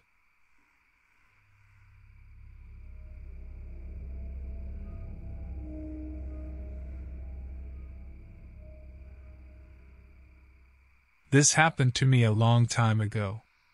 I guess maybe ten years back now. Me and my buddy Kellen spent most summers fishing, hiking, or camping out somewhere along the Pacific coast. We both grew up on the shores of Southern California, and you'd be hard pressed to find two guys more in love with the open wilderness. Back then, I had an interest in photography, just messing around, nothing serious. Kellen knew that. So, when he decided to head up the coast and try out a new, secluded stretch of the Olympic National Park in Washington state, he asked me to come along and document the beauty. Naturally, I jumped at the chance. One sunny morning, we packed up my old RV. It was nothing fancy, but it made those cross country adventures a whole lot more comfortable. It wasn't exactly an off road beast, but with Kellen behind the wheel, we had faith. After driving north across the Oregon state line, we turned west, venturing away from the paved highway onto a less certain path. The further along those dirt roads we got, the denser the forest became. Massive fir trees towered over the RV on both sides, their thick canopy almost entirely blotting out the sun. An occasional logging road wound off here and there, but we stayed the course on the wider unpaved track. As much as I loved the woods, my gut was sending off signals telling me we were straying a bit too far from civilization. We eventually did find a place to pull over, barely any wider than the RV itself. There was a tiny creek running nearby, making it about as idyllic of a spot as we could have hoped for. The first day went off without a hitch. We took a short hike down a nearby trail that had seen significantly more foot traffic than our makeshift road in. Snapped a few shots at sunset, roasted some hot dogs over a crackling fire. Pretty classic first day for one of our trips. It had been so long since we had a summer to indulge in these wilderness escapes, so we savored it. Morning came just as we hoped it would, serene, the air clear and crisp with the faint smell of pine. After a quick breakfast, I grabbed my camera bag and Kellen shouldered his fishing gear. It was time to make good on our adventure. My plan was to wander about, photographing whatever sparked my interest while my buddy tried his luck in the creek. We figured two hours tops before meeting back at the RV for lunch. For quite a while, it was smooth sailing. I found plenty of fascinating fungi to photograph along the banks of the creek. Moss hung low from massive trunks in a dazzling show of nature's handiwork. Even just wandering in aimless loops around our campsite presented captivating visuals. I'd been so caught up I only vaguely noticed time passing. A glance at my watch jolted me. We'd been apart far longer than anticipated. Concerned about Kellen, I started hollering his name, hoping like how my voice would carry through the thick trees. No answer. I pushed the unease down and began heading toward the sound of the creek figuring he must have just lost track of time chasing trout upstream. That's when I saw the first sign something was terribly wrong. I stumbled upon one of Kellen's fishing rods. It lay snagged in some foliage right on the path. My unease blossomed into full blown dread. He wouldn't just leave his gear behind. Kellen was a bit of a fanatic, taking meticulous care of all his outdoor equipment. I called out again, this time adding in a bit about finding his rod. Still nothing. I took a deep breath, trying to keep a level head. Accidents weren't impossible, after all. Maybe he fell and banged his head? Sprained an ankle? With those possibilities dancing through my mind, I sprinted in the direction of the creek, praying Kellen had taken an unfortunate spill but nothing worse. I crashed through the trees, following the familiar gurgle of the running water. It was hard to tell how far I'd gone. Panic and adrenaline pumped through me, distorting my perception of time and distance. And then, there it was. An open stretch of ground lay right on the creek bank. Not wide, no more than about fifteen feet across. A few old fishing spots could be made out near the water's edge where trampled grass clung to the muddy earth. It looked like somewhere folks might go to cast a line from time to time. Nothing extraordinary. Nothing, unless you took in the whole scene. There, splayed amongst the dirt, bits of fabric. Kellen's neon green t shirt hung half in and half out of the creek, snagged on a jutting rock, the bottom hem stained a deep, dark red. I recognized the shirt instantly. He'd only packed the one. Just a few feet away, trampled into the ground, were Kellen's sunglasses and hat. Scattered about, I could only pick out small items bits of metal, pieces of plastic that may have been part of a pocket knife, and more cloth. Too much cloth. Kellen was gone. And from the looks of things, he hadn't left willingly. I barely felt my knees give way as I staggered back into the undergrowth. Something wasn't right. Nothing felt right about this. Every bit of my being screamed it. No bear, cougar, or other forest dwelling predator would attack like this. It all seemed planned, methodical, even. Something out there, some person, had snatched my friend. But why? This thought sent a fresh wave of sickening fear coursing through me. If they'd gone after Kellen with those intentions, it wouldn't be long before they got wind of me. I had to get out of there. There was a ranger station. I couldn't be all that far from the trailhead. Surely someone could help. Turning blindly, I broke into a desperate run back towards the sound of the creek. It became a guide, a way forward from the horrors I couldn't allow myself to dwell on. My lungs burned, each desperate gasp mingling with sobs threatening to burst. Every twisted root in my path held the potential for me to go face first into the tangled ground. Every snap of a twig sent a fresh stab of panic through me. Then, a sound that wasn't natural. Something big, moving through the brush ahead. A figure stepped out, blocking my path, and my body came to a shuddering halt. He was immense, easily seven feet tall, though hunched over in a posture that would be impossible for most men. His clothes were ragged, patched together in a mismatch of browns and rough denim. An old hunter's cap crowned his head, greasy strands of his dark hair peeking out at odd angles. But that wasn't what registered most immediately. No, it was the weathered leather, stretched, twisted, and formed into a mask covering his entire face. No eyes, no mouth, nothing but warped contours and tanned hide. I couldn't breathe. Could barely scream. Just stared in abject terror. Suddenly he lunged. I turned with a strangled cry, legs finally taking action after the initial fear froze me in place. Every sound magnified now the crunch of damp leaves under my pounding feet, the whistling of my breaths, the distant howl of a dog back toward the road. He followed close behind, the gap never seeming to widen. With some burst of animal energy, I managed to reach the road and scramble into the driver's seat of the RV. He appeared as suddenly as I felt the keys drop from my fingers and clatter behind a pedal.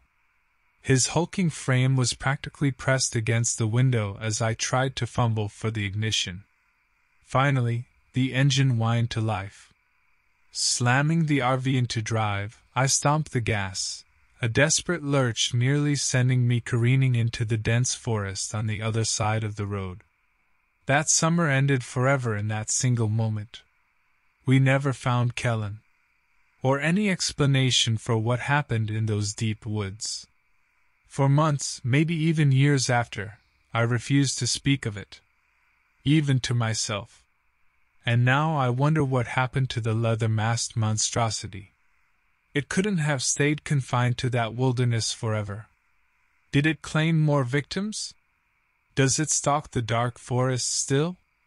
It chills me to think about, and to wonder if my path will ever cross with those shadowed trees, and that towering figure waiting beneath them, once again.